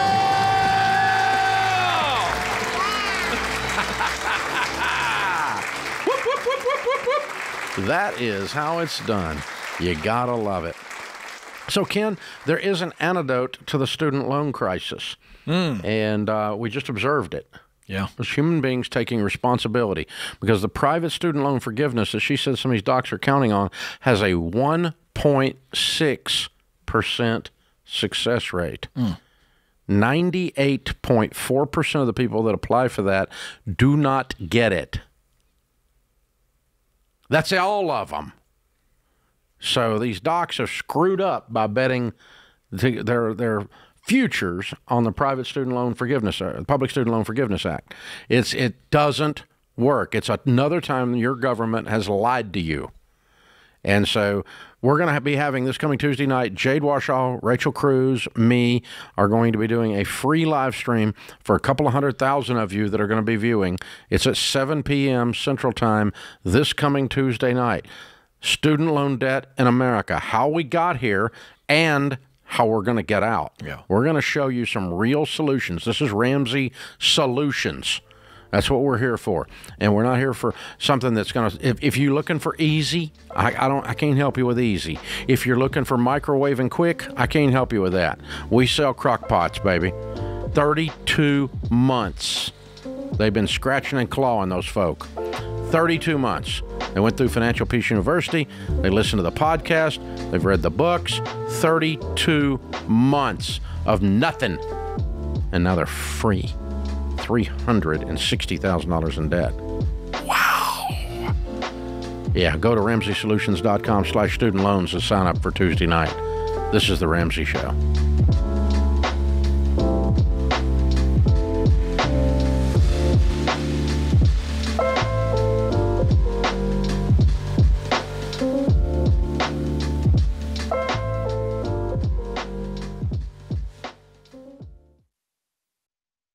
Hey, if you're in over your head with student loans and tired of getting calls from collection agencies, if private student loan debt is taking away your financial peace and you don't see any way out, you need Y Refi. They're not a debt settlement company and they're not connected to a bank. Yrefy refinances defaulted private student loans that other places won't touch and gives you a custom loan built for you based on your ability to pay. So when you refinance your private student loan debt with Yrefy, you'll have a payment you can afford with a low fixed interest rate you couldn't get anywhere else to help you stick to your budget and work the debt snowball. And you can save thousands of dollars. To learn more about this custom refinancing option and a lump sum payoff option you could qualify for after 24 months, call 844 2 Ramsey or go to yrefy.com slash Ramsey.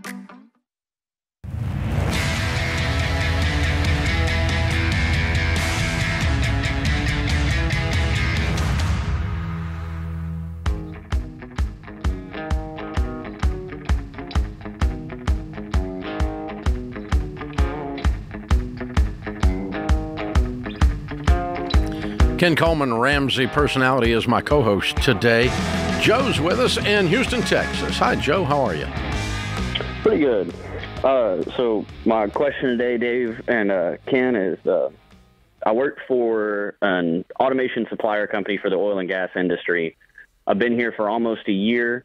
My responsibilities have increased uh, a lot more than I thought they would, and I would like to bring up uh, getting a raise to uh, to my leadership and stuff like that, and kind of wanted to know about how to go about doing that. How much have you got a number in your mind, a percentage that you've done some research on, or is this just a hunch and a feeling? Uh, so, so I'm I'm definitely making less than what I was previously with the job I left in you know uh, where we were maintaining the solutions that were uh, being sold by by uh, different companies, and now I'm designing and implementing those. Uh, so I took a pay cut to come to this job for more freedoms, more responsibilities, and chances to grow. And the number I've got is about 12 to 15 percent. Is what you want as a raise. Yes. And you've been there a year. Have you had an annual review, or is that process in place? Uh, so I had a six month review, and everything was everything with that was was gold stars, and Great. from what I was told. So And, uh, when did the increased responsibilities get put on you? Give me a timeline. at the six month mark. And and you were told this. It was like, hey, here's what we're doing. You're doing a great job. Gold stars. Now we're going to add this, this, this, and this. Is that how it went? Yes. Did you bring up? Okay, hey, I'm glad for the review. Uh, is there an increase in comp? What's that look like? How am I measured? Did you bring that up at the time? So I brought that up at the time, and the company I work for is growing, and uh, so they were like, "Okay, we're going to push off your raise until." So then I asked for a six percent. They said we're going to push it off till October. Well, then the responsibilities that was it was supposed to increase, it's gone beyond that in the in the six months. Because we're we're developing a new a new department for for our branch, and I've been kind of given that. Okay, and that's now What do in you make? between. I make eighty two five. Okay. And so you're asking for like 10 grand.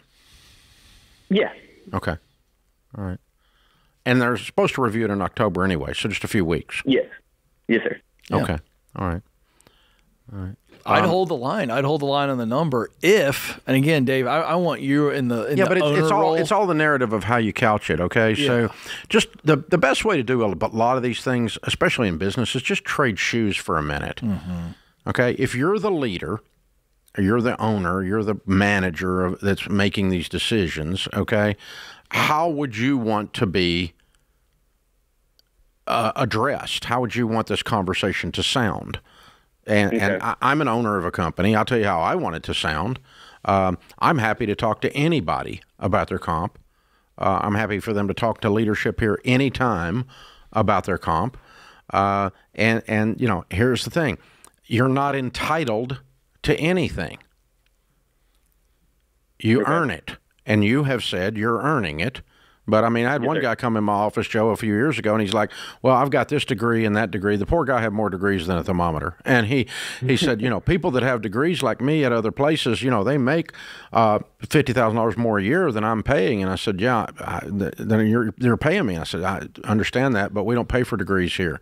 This is a small business, honey. Your raise is effective when you are." Okay. And so that's what the owner's looking for. Your raise is effective when you are. You've made the case to me, listening to you, that you've been effective and you've gotten the increased responsibility and you're stepping up and you're taking emotional ownership of these areas. And so you're a valuable team member, is what it sounds like to me. And so but the way you want to couch it, if you're on the other side of the desk, is how, Joe? I mean, think about it. You want to say, uh, not I deserve more money. Simply go, I think I'm adding a lot of value. Do you think I'm adding a lot of value? If I'm adding value, I need to ask you, how do I go about talking to you guys in a proper way without sounding ungrateful? Because I'm very grateful. I love this place. I love the opportunity. I love the growth. I love the added responsibility. Um, and I, you know, w- what's the right way if you're me to ask you guys about compensation? And I, I, I'd really like to make more. And what do I need to? Is there anything I'm not doing that I'm that I'm do? You know, is there anything I can add, or is there some, do I need to do something different to qualify for some increased compensation? And if somebody sa- says to me, "How can I?" What can I do to make myself more valuable so you want to give me more money? That's an easy that's an easy thing for me as an owner. I can do that one. Okay. I can go, okay. Cuz you know, like I had a guy one time he's working on a deal and he brought in an extra million dollars. That really happened. That blew my mind. He he just he added this thing to a deal. He was doing negotiating a deal for us, and he added this thing, and, and so and his commission structure did not pay him on that million dollars. But you know what? We paid him anyway. You know why? Because I want him to do that again. You. okay? Because he added value. You see what I'm talking about? So a lot of value in that case. That's a big number. But the the thing is here, I, I think you say I. Am I? I think I'm adding value. Am I adding value? And if I'm not adding enough, what do I need to be doing to qualify for increased compensation? Because I really want to be one of your best team members, and I also want to make some good money. And tell me how to do that, man. Yeah, I agree with that. However, I would also add to this, Joe. They promised you a six percent. I, I, I would ignore that because I think he's due. I think he's due a lot more than six. Six percent's a joke in this. yeah, maybe. Uh, he needs. He needs. He needs. Got to have some marketplace research on that. Yeah. Like if somebody comes to us and says, Yeah, but he's he's in a startup and they're they're adding stuff. They're adding new products. They're adding new projects and things to his plate, left and right, left and right. He and he's making eighty already. He's Yeah. He's worth another ten. I think he is, but he's got to make that case. And I'm just pointing out that he's going in asking for 12 to 15. They've asked six. He needs to show market range. I wouldn't ask for 12, 15. I would. Oh, oh, I would Oh, ask I an thought- open-ended question. Okay, because he was saying he we had 12. talked about six back in the summer. I feel like I'm doing all these things. What have I got to do? Yeah. Oh, I What have agree. I gotta I always say that yeah, too. And, yeah. and you know that kind of thing. And and then if they come back at six, you go, okay, I need to know what I got to do to get double that. Mm-hmm, Because I kind of thought I was in that zone, and apparently I'm not. So and they've added responsibilities. yeah. so And he you know, if you talk to me that way, and you don't, you don't start trying to. But let me, as soon as somebody starts playing hardball with us at Ramsey on uh, raise negotiation, right? we just go, you know, it's probably not going to work out here, right? Because we're not going, to you know, you- you're going to negotiate. Come on, I mean, ask how you can help. Yeah. And if you kill it and drag it in here, we'll share it with you, baby. Yeah. I mean, it's not, we're not greedy, but but you know, just I show up every day and breathe. And so I get money. That's not what Joe's doing. Right. But if you if you're out there and you think, well, I just show up every day and I'm you know I actually took a shower daily and I expect a raise. I mean, come on, man. There's no just shower daily raise. That's there's not one of those. So um, you know it's crazy what's out there and the way people think about this stuff. So you know here's the thing. If you want to be an extremely valuable team member, always be asking what you how you can add value, how I can lift the place, not what I can take from it. So if we're interviewing someone and the first two sentences all they want to know is what they get, then we're done with the interview because they're there to take, they're not there to add. They're going to work a job, work as little as possible, come in late, leave early, and steal while they're there. And so you want to present that the exact opposite of that scenario. Agree. When you're uh, interviewing or when you're negotiating, so to speak, for a raise. But it's not negotiating. No, it's, it's not. asking leading questions. Yes, and also being informed in what you're asking. You know, we had a sure guy come not in the other day in, in one of our technology roles, a very unusual niche role, but he said, "I got a I got a recruiter coming at me offering me X more," and he goes, "I don't want to leave, but it's crazy amount of money." He goes, "What should I do?" And and, and that's the way to approach it. Not Yeah, like I love that. If you don't match this guy, I'm out of here. Right. Because we'd be going, "See you." Wouldn't want to be you. You know. That's right. And um, but but if he comes in and goes that you know what we we were not able to match it, but he wanted to stay. Mm. We were able to respond to his situation and make him feel good about staying by giving him a great raise. And it was it was an unscheduled raise. Hello. So that's okay. All that's fine. But th- this is a how you the attitude you approach it. Are you a giver or are you a taker? Are you a parasite? or are you someone that's adding to the whole process? And if you're adding to the process and the people don't respect that with your in your wallet, you probably need to look for another place. Joe, I think you got a good situation and you're a good guy. This is going to work out for you. This is the Ramsey Show. Hey, it's Ken. If you love the show and want a deeper dive on your money journey, we have a weekly newsletter that gives you trending and helpful articles and tips on following the Ramsey way. Go to RamseySolutions.com today to sign up for our newsletter. Again, that's RamseySolutions.com to sign up for our weekly newsletter.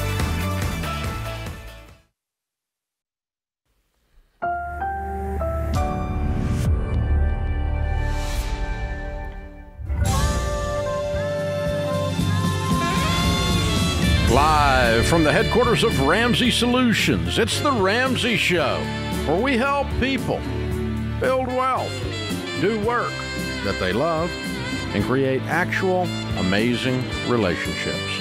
Thanks for joining us, America. Ken Coleman, Ramsey personality, number one best-selling author of the book Paycheck to Purpose, is my co-host.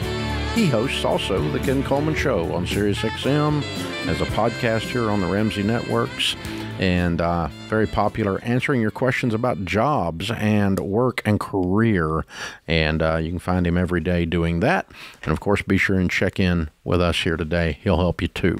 The phone number 888-825-5225. Alex is in Cleveland, Ohio. Hi, Alex. How are you? I'm great. Thanks for taking my call. Sure. What's up?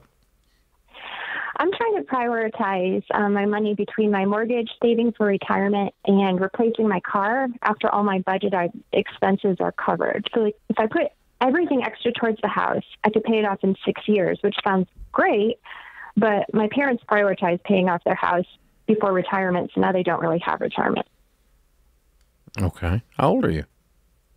I'm 33. Okay. So if you did that, you'd be 39 years old. Exactly. So mathematically, you would not be your parents. Because you definitely could save a lot for retirement if you had no house payment between now and retirement, between 39 and 65, right? That's a good point. Okay. Yeah. So your parents, your parents, the fear that came from your parents' situation is not valid in your case. However, I'm still not going to tell you to do that, but I just think it's good to work out the math for a second. Now, um, so you're out of debt, everything but the house, right? Correct. And you have an emergency fund of three to six months of expenses set aside, correct? Right. I have 15000 Good. Okay. Then you're at what we call baby step four. Baby step four is say 15% of your income, no more, into retirement. If you have no payments but a house payment, 15% of your income going into retirement should leave you some money in your budget. And It'll then, leave about 500 if I do that. what's your household income? 77,000 pre-tax, post-tax, it ends up being about 57. Mm-hmm. And how much is your house payment? It is, let's see, I wrote that down. Where did that go? Um, 1,330. Okay. How are you paying off your house in six years if you save nothing? I don't hear that in these numbers. Mm, I have an extra 1,300 each month. Oh, I thought you said you had an extra 500 each month. That would be if I put into retirement. Oh, I see. So if you put 800 into retirement, you'd have 500 to go towards the car. Okay. You and so it. what's your current car worth? Um, roughly six thousand because it's a two what do you What do you want to spend on the next car? I'm going to need to spend at least ten, maybe fifteen if I buy used, which is the plan. Okay, so if you buy 15 and your current one's worth six, you need nine, Right. and that takes uh, what it's, it's, it takes not even a year. Well, it takes you no, it takes a little over a year. It takes about 14, 15 months to save that up at 500 a month, right? Exactly. Okay, so 14 or 15 months, you got your car upgrade. Meanwhile, you're putting 15% of your income in, and then we'll start paying extra on the house. I'd only have five hundred extra to go towards the I know. if I would. I know. But you have, you've also you've extrapolated out into the distant future no raises. Mm-hmm. That's true too. Yeah, so it's a miss. So the reality is, is you're going to pay off the house probably in six or seven years, while putting fifteen percent away, while replacing this car with a decent thing. Everything you've described to me is very sane. You are not a cray cray American. You're not out of control. Thank you. I mean, really, you, you're, you're very level headed. I mean, you, I, I was a bit afraid you were going to say thirty-five thousand dollar car, and I was going to have a small cow right here on the radio. Okay, so no, well, mom raised, mom raised, mom and dad raised us yeah, differently from that. I'm telling you. So you you really have your your your your feet on the ground in a beautiful way. You got a lot of common sense, kiddo. So you're going to be fine. Yeah. So the thing is this, you're going to accomplish everything. The, the way we ran out the case studies and the way we've talked to literally millions of people that we've made into millionaires is that this idea if you're putting 15% away, don't put more than that, but don't put less than that. You're going to end up a multimillionaire with that alone, and you're going to get the house paid off on average, and your numbers are not different than that. Uh, you know, under 10 years, it might be seven, it might be 6.5, and it depends on the curve on your raise as well. How quick you, how much your raise goes up. And I'm What- curious, What, do you do for a living? Yeah, I want to know this. Yeah, I work in marketing for a, a small company. I'm just wondering, Alex, if you aren't thinking about the gig economy, freelance marketing, after hours to speed up this buy a new car fund. I would really be considering that if you have the margin in your life with your skill set in today's marketplace, uh, freelance work as a marketer, that's what I would be doing to get the car paid for. What kind of marketing are you doing for this small company? Um, like mostly website design, flyers, social media, Mm-hmm. helping them write content. What I love doing is like talking with engineers and then getting them to speak in English instead of geek. That's a full time job. Uh, it's also extremely valuable. You're a translator in a digital economy. Um, the uh, so let me. uh, Sometimes, and you tell me if I'm wrong, but sometimes when someone says, "I'm a marketer at a small company," the small company part of the phrase is code for "I feel like I'm not being paid what I could make somewhere else." Yeah, they're very fair, but No, that wasn't what I asked. Did you say that could make more accidentally in that else. statement? Yeah. Like you make 70, but you think if you moved over yonder, you might make 90? yeah. Yeah. I'd be thinking about that. Yeah. Yep. And freelance. You know- I can't say that enough. Yeah, and and, um, and, and lots of freelance stuff on the side. Because if you can do digital translation from the digital humans to the non-digital humans, you have a skill. How would you start tracking down freelance things? Well, you gotta look- at Fiverr, but it's so many international people that it's Yeah. really hard to find a gig.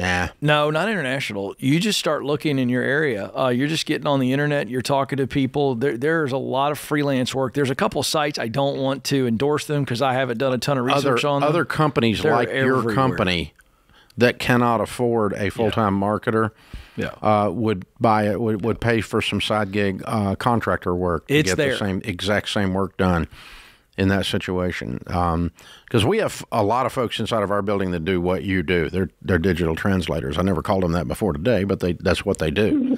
And so you get on a squad with the digital teams and then you have to learn to speak their language and then we also have to learn that the consumer you know what's the consumer facing after we write this code? What's it look like? How's it sound? How's it feel and that kind of stuff. So yeah, that's exactly what you're doing, and that's a, I'm telling you, that's a very valuable skill in the marketplace right now.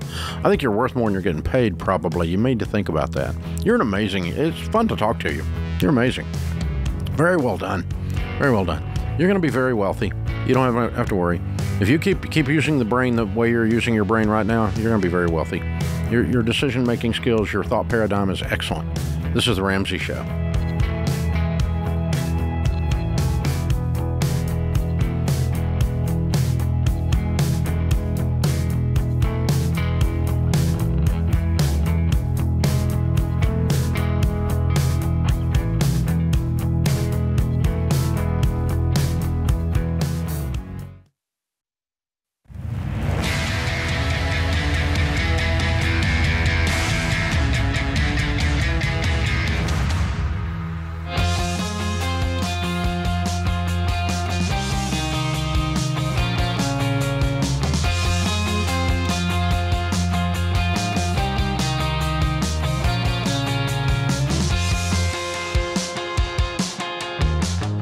Ken Coleman, Ramsey Personality, is my co host today. Thank you for joining us, America. We're so glad you're here. Open phones at 888 825 5225. Hey, guys, um, we can use your help. If you want to help us out, it doesn't cost you a thing. If you will click subscribe or follow or whatever it is on your podcast or your YouTube or whatever, and just let you know, just sign up it changes the algorithm, moves the show up in the rankings, and causes other people to know we're here. It's a free way you can say thank you to us. And uh, so click follow, click that, and use the share button. And if there's not a share button, just share. Tell people, tell people, or take clip click a link out and go, okay, hey, I saw this. You guys got to start watching the show. You got, you won't believe it. You got to start listening to this show. You won't believe it, and because uh, it's absolutely phenomenal how many of you are there. Thank you. Uh, the number of minutes being downloaded is just astronomical. Uh, on the different uh, versions. It's absolutely crazy, and we appreciate you. Thank you very much. Leave the five star review. You know, all those kinds of things really help change the algorithm of whether these different services push the show to the front and, and make it as a suggestion or not. So thank you. Austin is in Milwaukee. Hi, Austin. Welcome to the Ramsey Show. Hi, thanks for taking my call. It's a pleasure speaking with you. Sure. What's up? Uh, so I'll try to make it quick here, but I have a two-part question that kind of revolves around my career that I was hoping to get some answers or maybe suggestions on what I could do as I've been listening to you for quite some time now, and ever since I've been trying to do everything right. Um, but I seem to back myself in a corner here with uh, work and any further work uh, to major my income growth. Um, and I'm so I'm 23 years old and I'm truck driving for a career. I'm a regional over the road uh, trucker, so not uh, coast to coast or anything. I make about 62k base gross pay but after all my overtime, I'll gross roughly around 85k a year, which is uh, 5k a month after taxes and uh, Roth 401k contributions. I have no debt, although I'm looking to make more money only because I feel like I'm meant to do more. And I love my career and company I work for, so switching companies isn't something I'm really looking to do. Even though certain companies out there I could get starting at 105k a year by trading more of my time for money and staying on the road longer, which I know is a big battle between making money and taking your time. The only problem with being a trucker, though, is that I'm restricted on how much I can work uh, with a side gig, if I would, or more so a side job. As legally, you're only allowed to work 14 hours a day and a max of 70 hours a week. But between each 70 hour work week, you need to be resting for 34 hours with no pay, even if it's a non driving job. Um, and so the only solution I would have to think about getting is a under the rug pay uh, cash pay job and uh, or do I just accept a fate and make an extra 20k by switching companies okay. uh, while looking to try to make more. Yeah. So, what's more important to you? Is it is it staying in the the driving position you really love it, and then having this time that you have now, or is making more money? What's more important? Because you gave us the whole scenario, but it, it comes down to what is the biggest priority for you? Yeah, I mean, I, you know, it it's it's funny because I do enjoy my free time, but there's m- most weekends that uh, I'm either not doing something and I'm just sitting there, kind of uh, not having anything to do, and then I feel like I could be doing more. Well, you can be. So here's what I don't understand. work. So forgive my ignorance. Is this the regulation of the company saying, No, "Hey, it's, it's federal regulation. it's a federal regulation"? Yeah, you're not allowed to drive. So he, so you can't. Yeah, but he can't. Uh, did I understand that you can't work? You can't do anything, any outside work, and receive uh, income because if it's reported, it's outside the federal regulation. Is that what I'm understanding? I could during the week, but I'm not home during the week except for one or I got two that days, part. maybe. All right, I'm going that Yeah. direction. Okay, so legally we can do something. It's just during the week. So what is? How many hours do you have on a regular week where you're not behind the wheel of a car? Uh, typically, it's about well, you got 48 during the weekends because we get off weekends, and then it's typically uh, about 12 to 20 throughout the week. All right, so 12 to 20 hours is what you can work with to do something else because you said I feel like I'm supposed to do more. So we have to first look at what inventory of time you have to do other work. Now we've got 12 to 20 hours. So now you start getting into, well, what is it that I would do if I wasn't in the truck? What would this different type of work be? I believe you've got those ideas. I don't think a guy like you calls and doesn't have an idea to. So what would you do if you weren't limited to the truck? This other idea of work, doing something more. What is it? Well, I've I guess I've always uh, had a had a not I, guess, I don't know if you call it a dream, but I've always uh, wanted to start my own business as I've had a really good idea with it, and Doing I what? could spend. What's the business? Um, uh, it would be well, I'd make a business uh, with protein bars because I actually am a bodybuilder, and that's one struggle I found with a nut allergy is there is not a single protein bar on the market that uh, doesn't contain nuts or at least right. manufactured in the same facility. All right, so let's make this big dream. Let's bring it way down for a second. Let's play with this. 12 to 20 hours.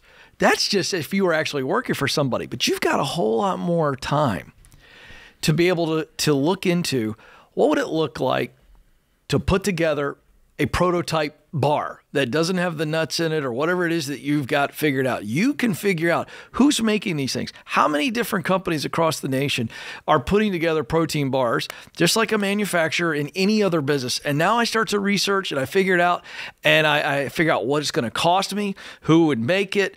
Can I just sample it? You've got all this time, even behind the wheel of a truck to be listening to maybe podcasts about how to come up with uh, a strategy to launch something like this. There are people that do this kind of stuff. It's free. So you become an expert in what it would take to launch a protein bar. That's it. We start there. Because if this is the dream, then we're not going to just launch into the protein bar business. There's a whole lot of work. So you're using all this time to become an expert in what needs to happen. Then we look at the finance piece. What's that going to cost? And so now you've got a plan. Here's what I would have to do. Here's how much it's going to cost. And so now you begin to save that money and you go slow. You don't risk a lot of money. You try it, you test it. This is a process. So I would be putting that desire to play in very practical ways, as I just described. And then over time, you might see yourself going, all right, I got to take a different trucking job to make more money to come up with an extra 20,000 to put into my first protein bar. And I've already got several local stores that are willing to carry it. I don't have a ton of inventory, which means I don't have a ton of risk. And I begin to put it out there and I see, does this bar go somewhere? Maybe you look into it enough where you go, you know what? I'm going to transition from the truck to actually working for a protein supplement company because I can do that. I can work for them. Is this entrepreneurial or is it an actual professional path? All of that will become clear if you take your time and use all that extra hours and energy to dive into what is it going to take to do this thing. And that's that's how I do it. Yeah, you're the way you're describing your situation is that uh, there's only two options: doing what you're doing or not doing what you're doing, and um, because you're you're looking at it as an all or nothing instead of an incremental by degree change. And so, what I would do is pan back and say, okay, I'm 23. When I'm 33, what do I want to be doing? what are then the then what must be true that's not true today for me to be able to do that? And then you start making okay. There's 32 steps to get there over the next 10 year over the next 10 years. We'll start taking those 32 steps and that's what ken was describing the first steps of the 32 steps. But you just begin by degrees moving in the right direction a little bit at a time and that method of thinking will uh, cause you to be able to move forward versus I, I, i'm stuck. You're not stuck. You can do the little steps in the right direction right now. That's what ken's describing for you. This is the ramsey show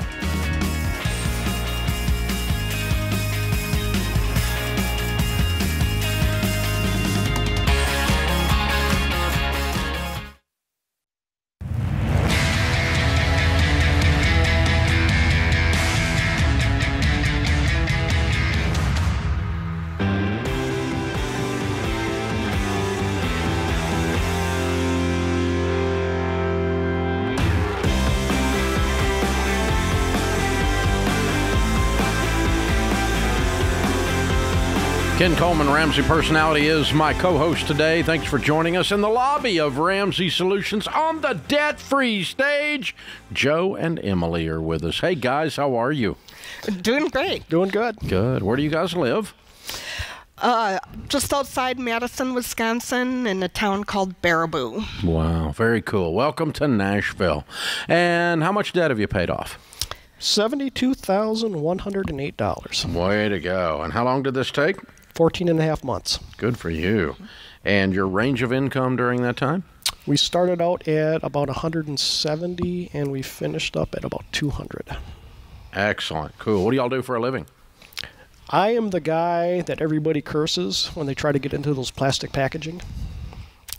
Uh, you're you- the plastic packaging guy. I'm the plastic packaging guy. I'm that guy. Oh, okay. Are you talking like when you get like a, a box in the mail and you can't even get it open with an exacto knife? Yep, that's that me. level. That's That's me. him. I really do curse you. I felt so good. Love it.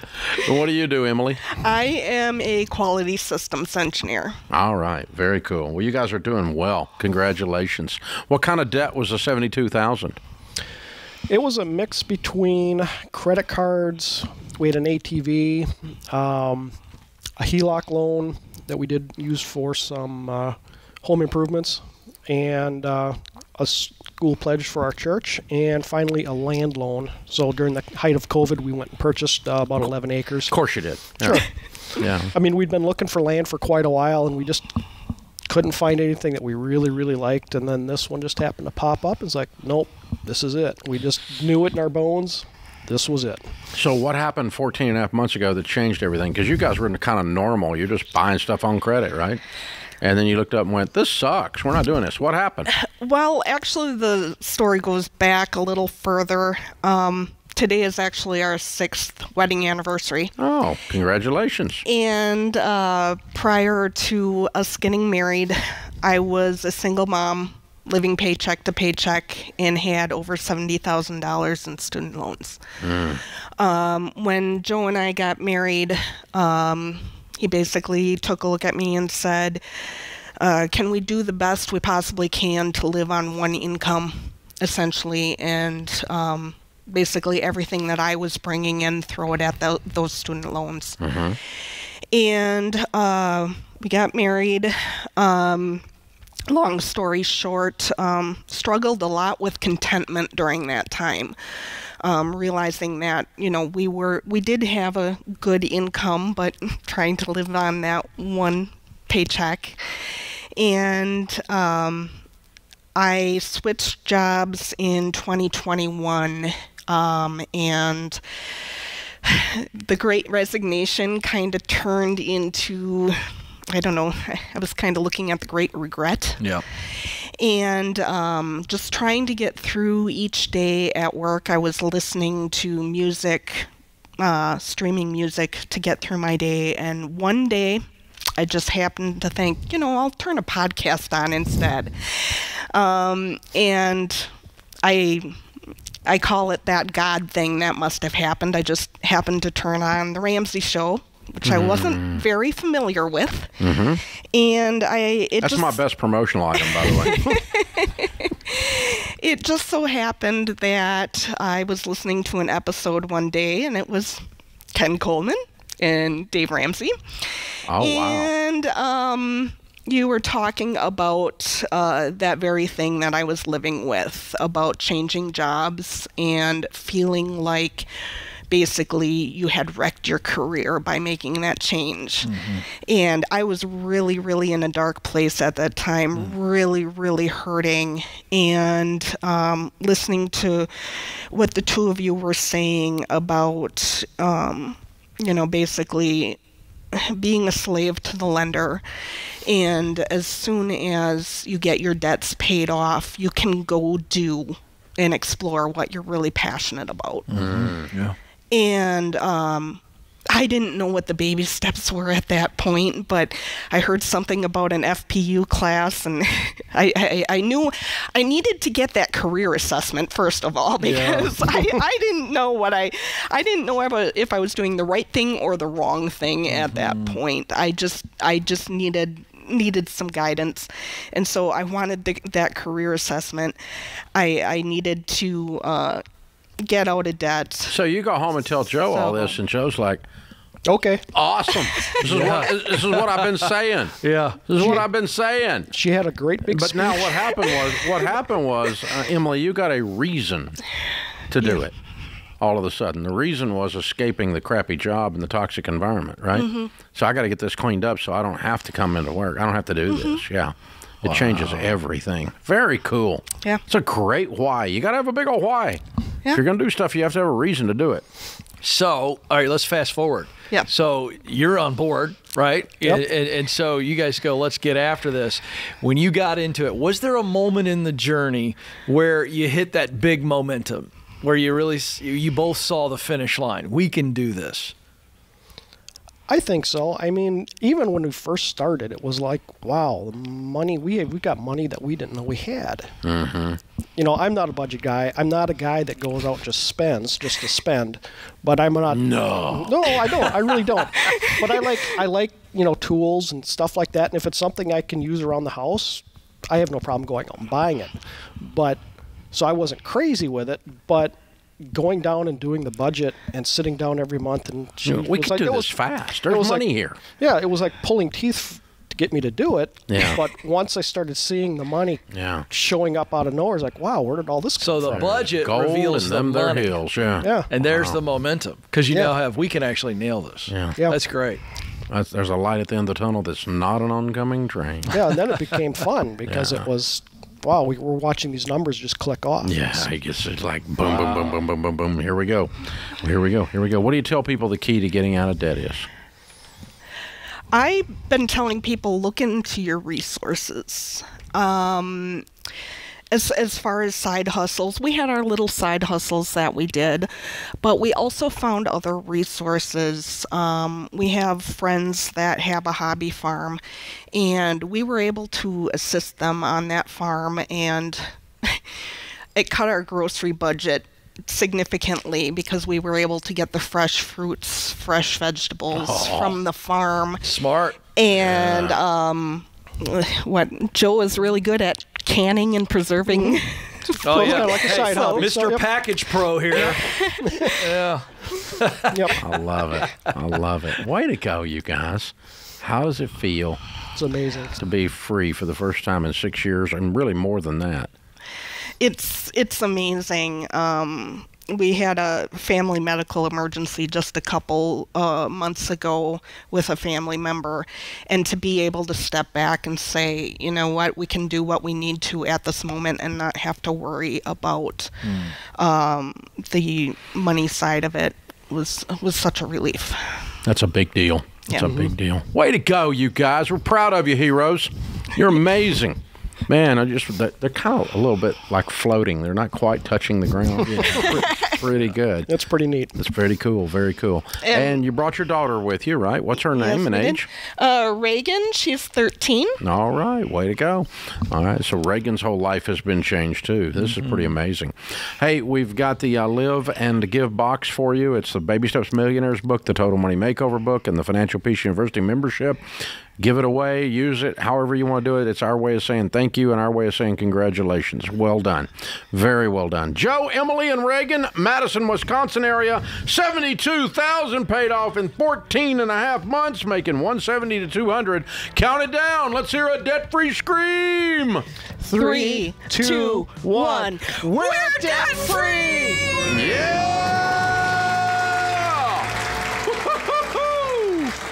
This is how it's done. I love it. Man, what cool people. This is The Ramsey Show.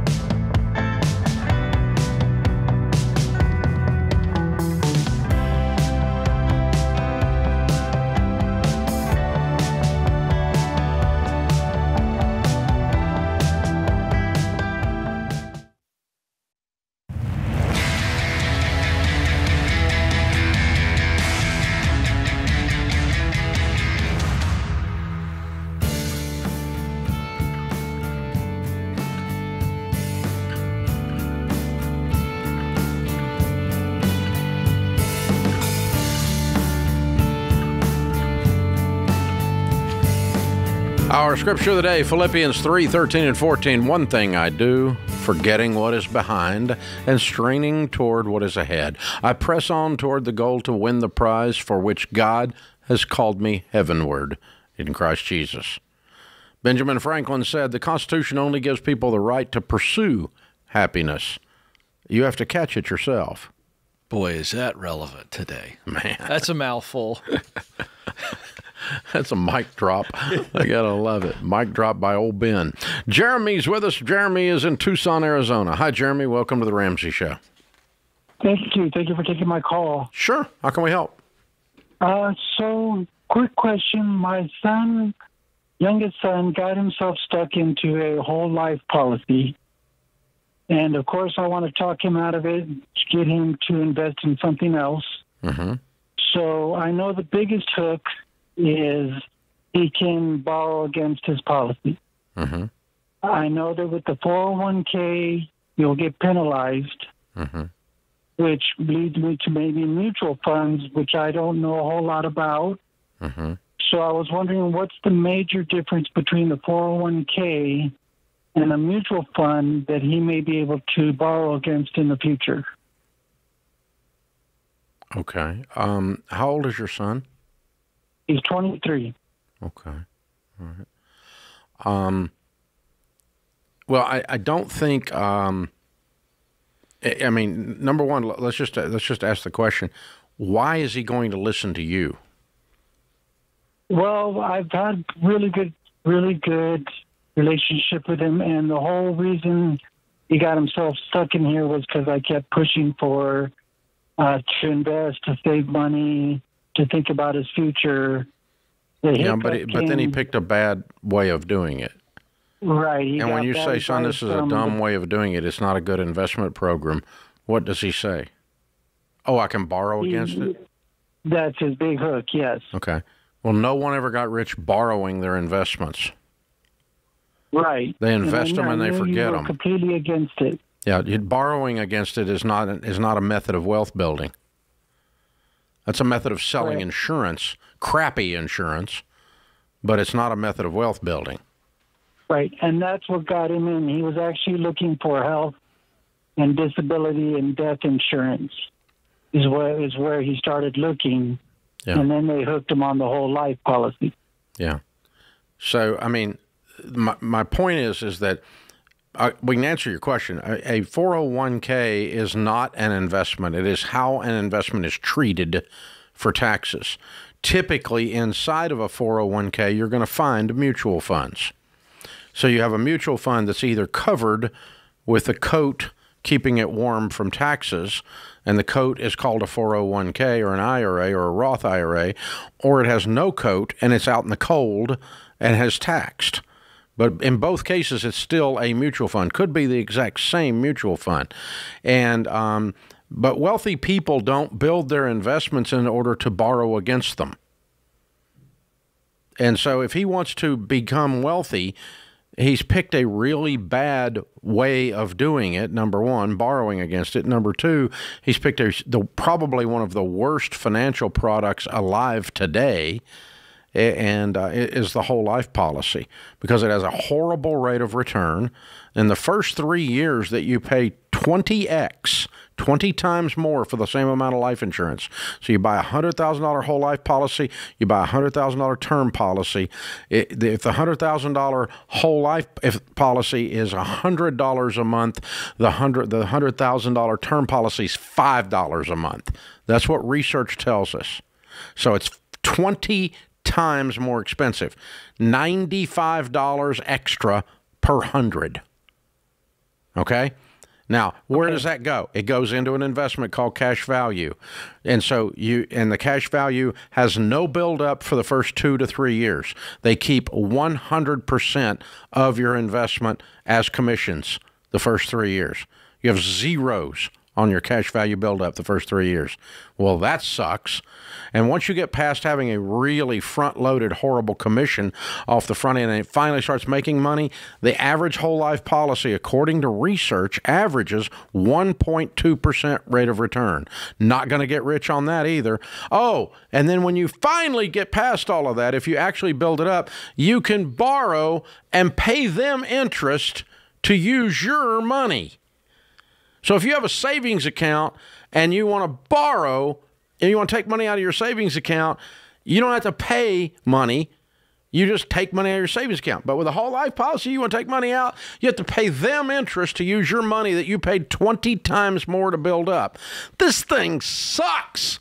Oh, and it's even worse than that. You finally build up inside your whole $100,000 policy $20,000 worth of cash value, and then you screw around and die, which we all do. Oh, guess what happens to your 20,000 that you paid $95 extra per month to build up after getting past horrible rates of return and no and no and no build up at all for the first 3 years because they kept it all as a commission. Once you finally get 20,000 in there and you die, they pay $100,000. They keep your savings account. So if you had a savings account at the bank and, and or if I started pitching you a savings account on TikTok and I said, "Hey, here's your savings account." The first three years you put money in, nothing happens. We keep it all.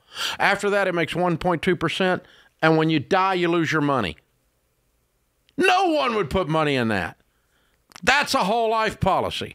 So nobody ought to put money in a whole life policy. So you can just play this rant back for your son, Jeremy, when it comes out on the podcast and it'll answer his question. Perfect. It's exactly what I would do. And I'm not even, I mean, that's exactly, son, watch this. Yeah, this is just, don't do it. Don't do it. You got, uh, son of Jeremy, you have been screwed by the life insurance industry.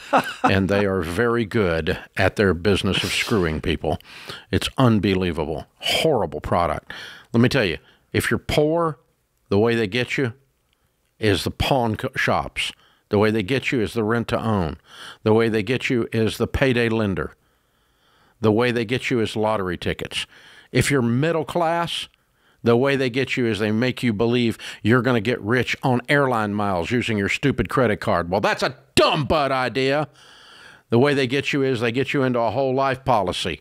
That's a dumb butt idea. The way they get you is they go, sophisticated rich people lease their cars. No, they don't. No, they don't. It's a dumb butt middle class thing to do. So the whole life policy is the is the payday lender of the middle class. It's a signal that you intend to be in the middle class to stay there the rest of your life because you got screwed by the insurance companies. And I got to tell you, man, if you don't like that and you sell whole life, you need to actually learn how your product works. And then if you have integrity, you'll quit selling that crap. Because there's only two types of people that sell whole life the ones that don't understand it and the ones that are crooks. Because if you understand that crap and you sell it, you by definition are a crook. Because anybody that would sell someone an investment that the insurance company keeps their money that they put in there upon death and call that a good deal is a crook. That's just bull. Okay? It's just absolute scam stuff. It just pisses me off. And I'll tell you what, the I, whole life, I thought it had just about gone away. And freaking TikTok has revived whole life. TikTok, of all things. Yeah. I mean, people, listen, people, if your social media sounds like a tic tac, You sh- you know, there's only one thing you should listen to on TikTok, and that's stuff we put out. But other than that, it's awful. It's a barren landscape of morons. Oh, that's great. It's crazy. Absolute nuts. Oh God! And it, the whole life stuff is all over it, like they just invented it yesterday. Yeah. It's the oldest financial product, ma'am. The financial planning commi- uh, community completely abandoned this garbage 35 years ago. No one sells whole life life insurance except life insurance agents. No one in the financial planning community believes in it. We've all been looking at it going, you gotta be kidding, for decades. And now that stuff comes back on TikTok. It's unbelievable. I got a new idea out of this rant. A new sponsor, blood pressure medicine for Dave when he goes off on whole life. this is Jeez, man. fantastic. I can't stand those people. It's unbelievable. I think you made that abundantly clear. That puts this hour of the Ramsey Show in the books. and We'll be back with you before you know it. In the meantime, remember, there's ultimately only one way to financial peace, and that's to walk daily with the Prince of Peace, Christ Jesus.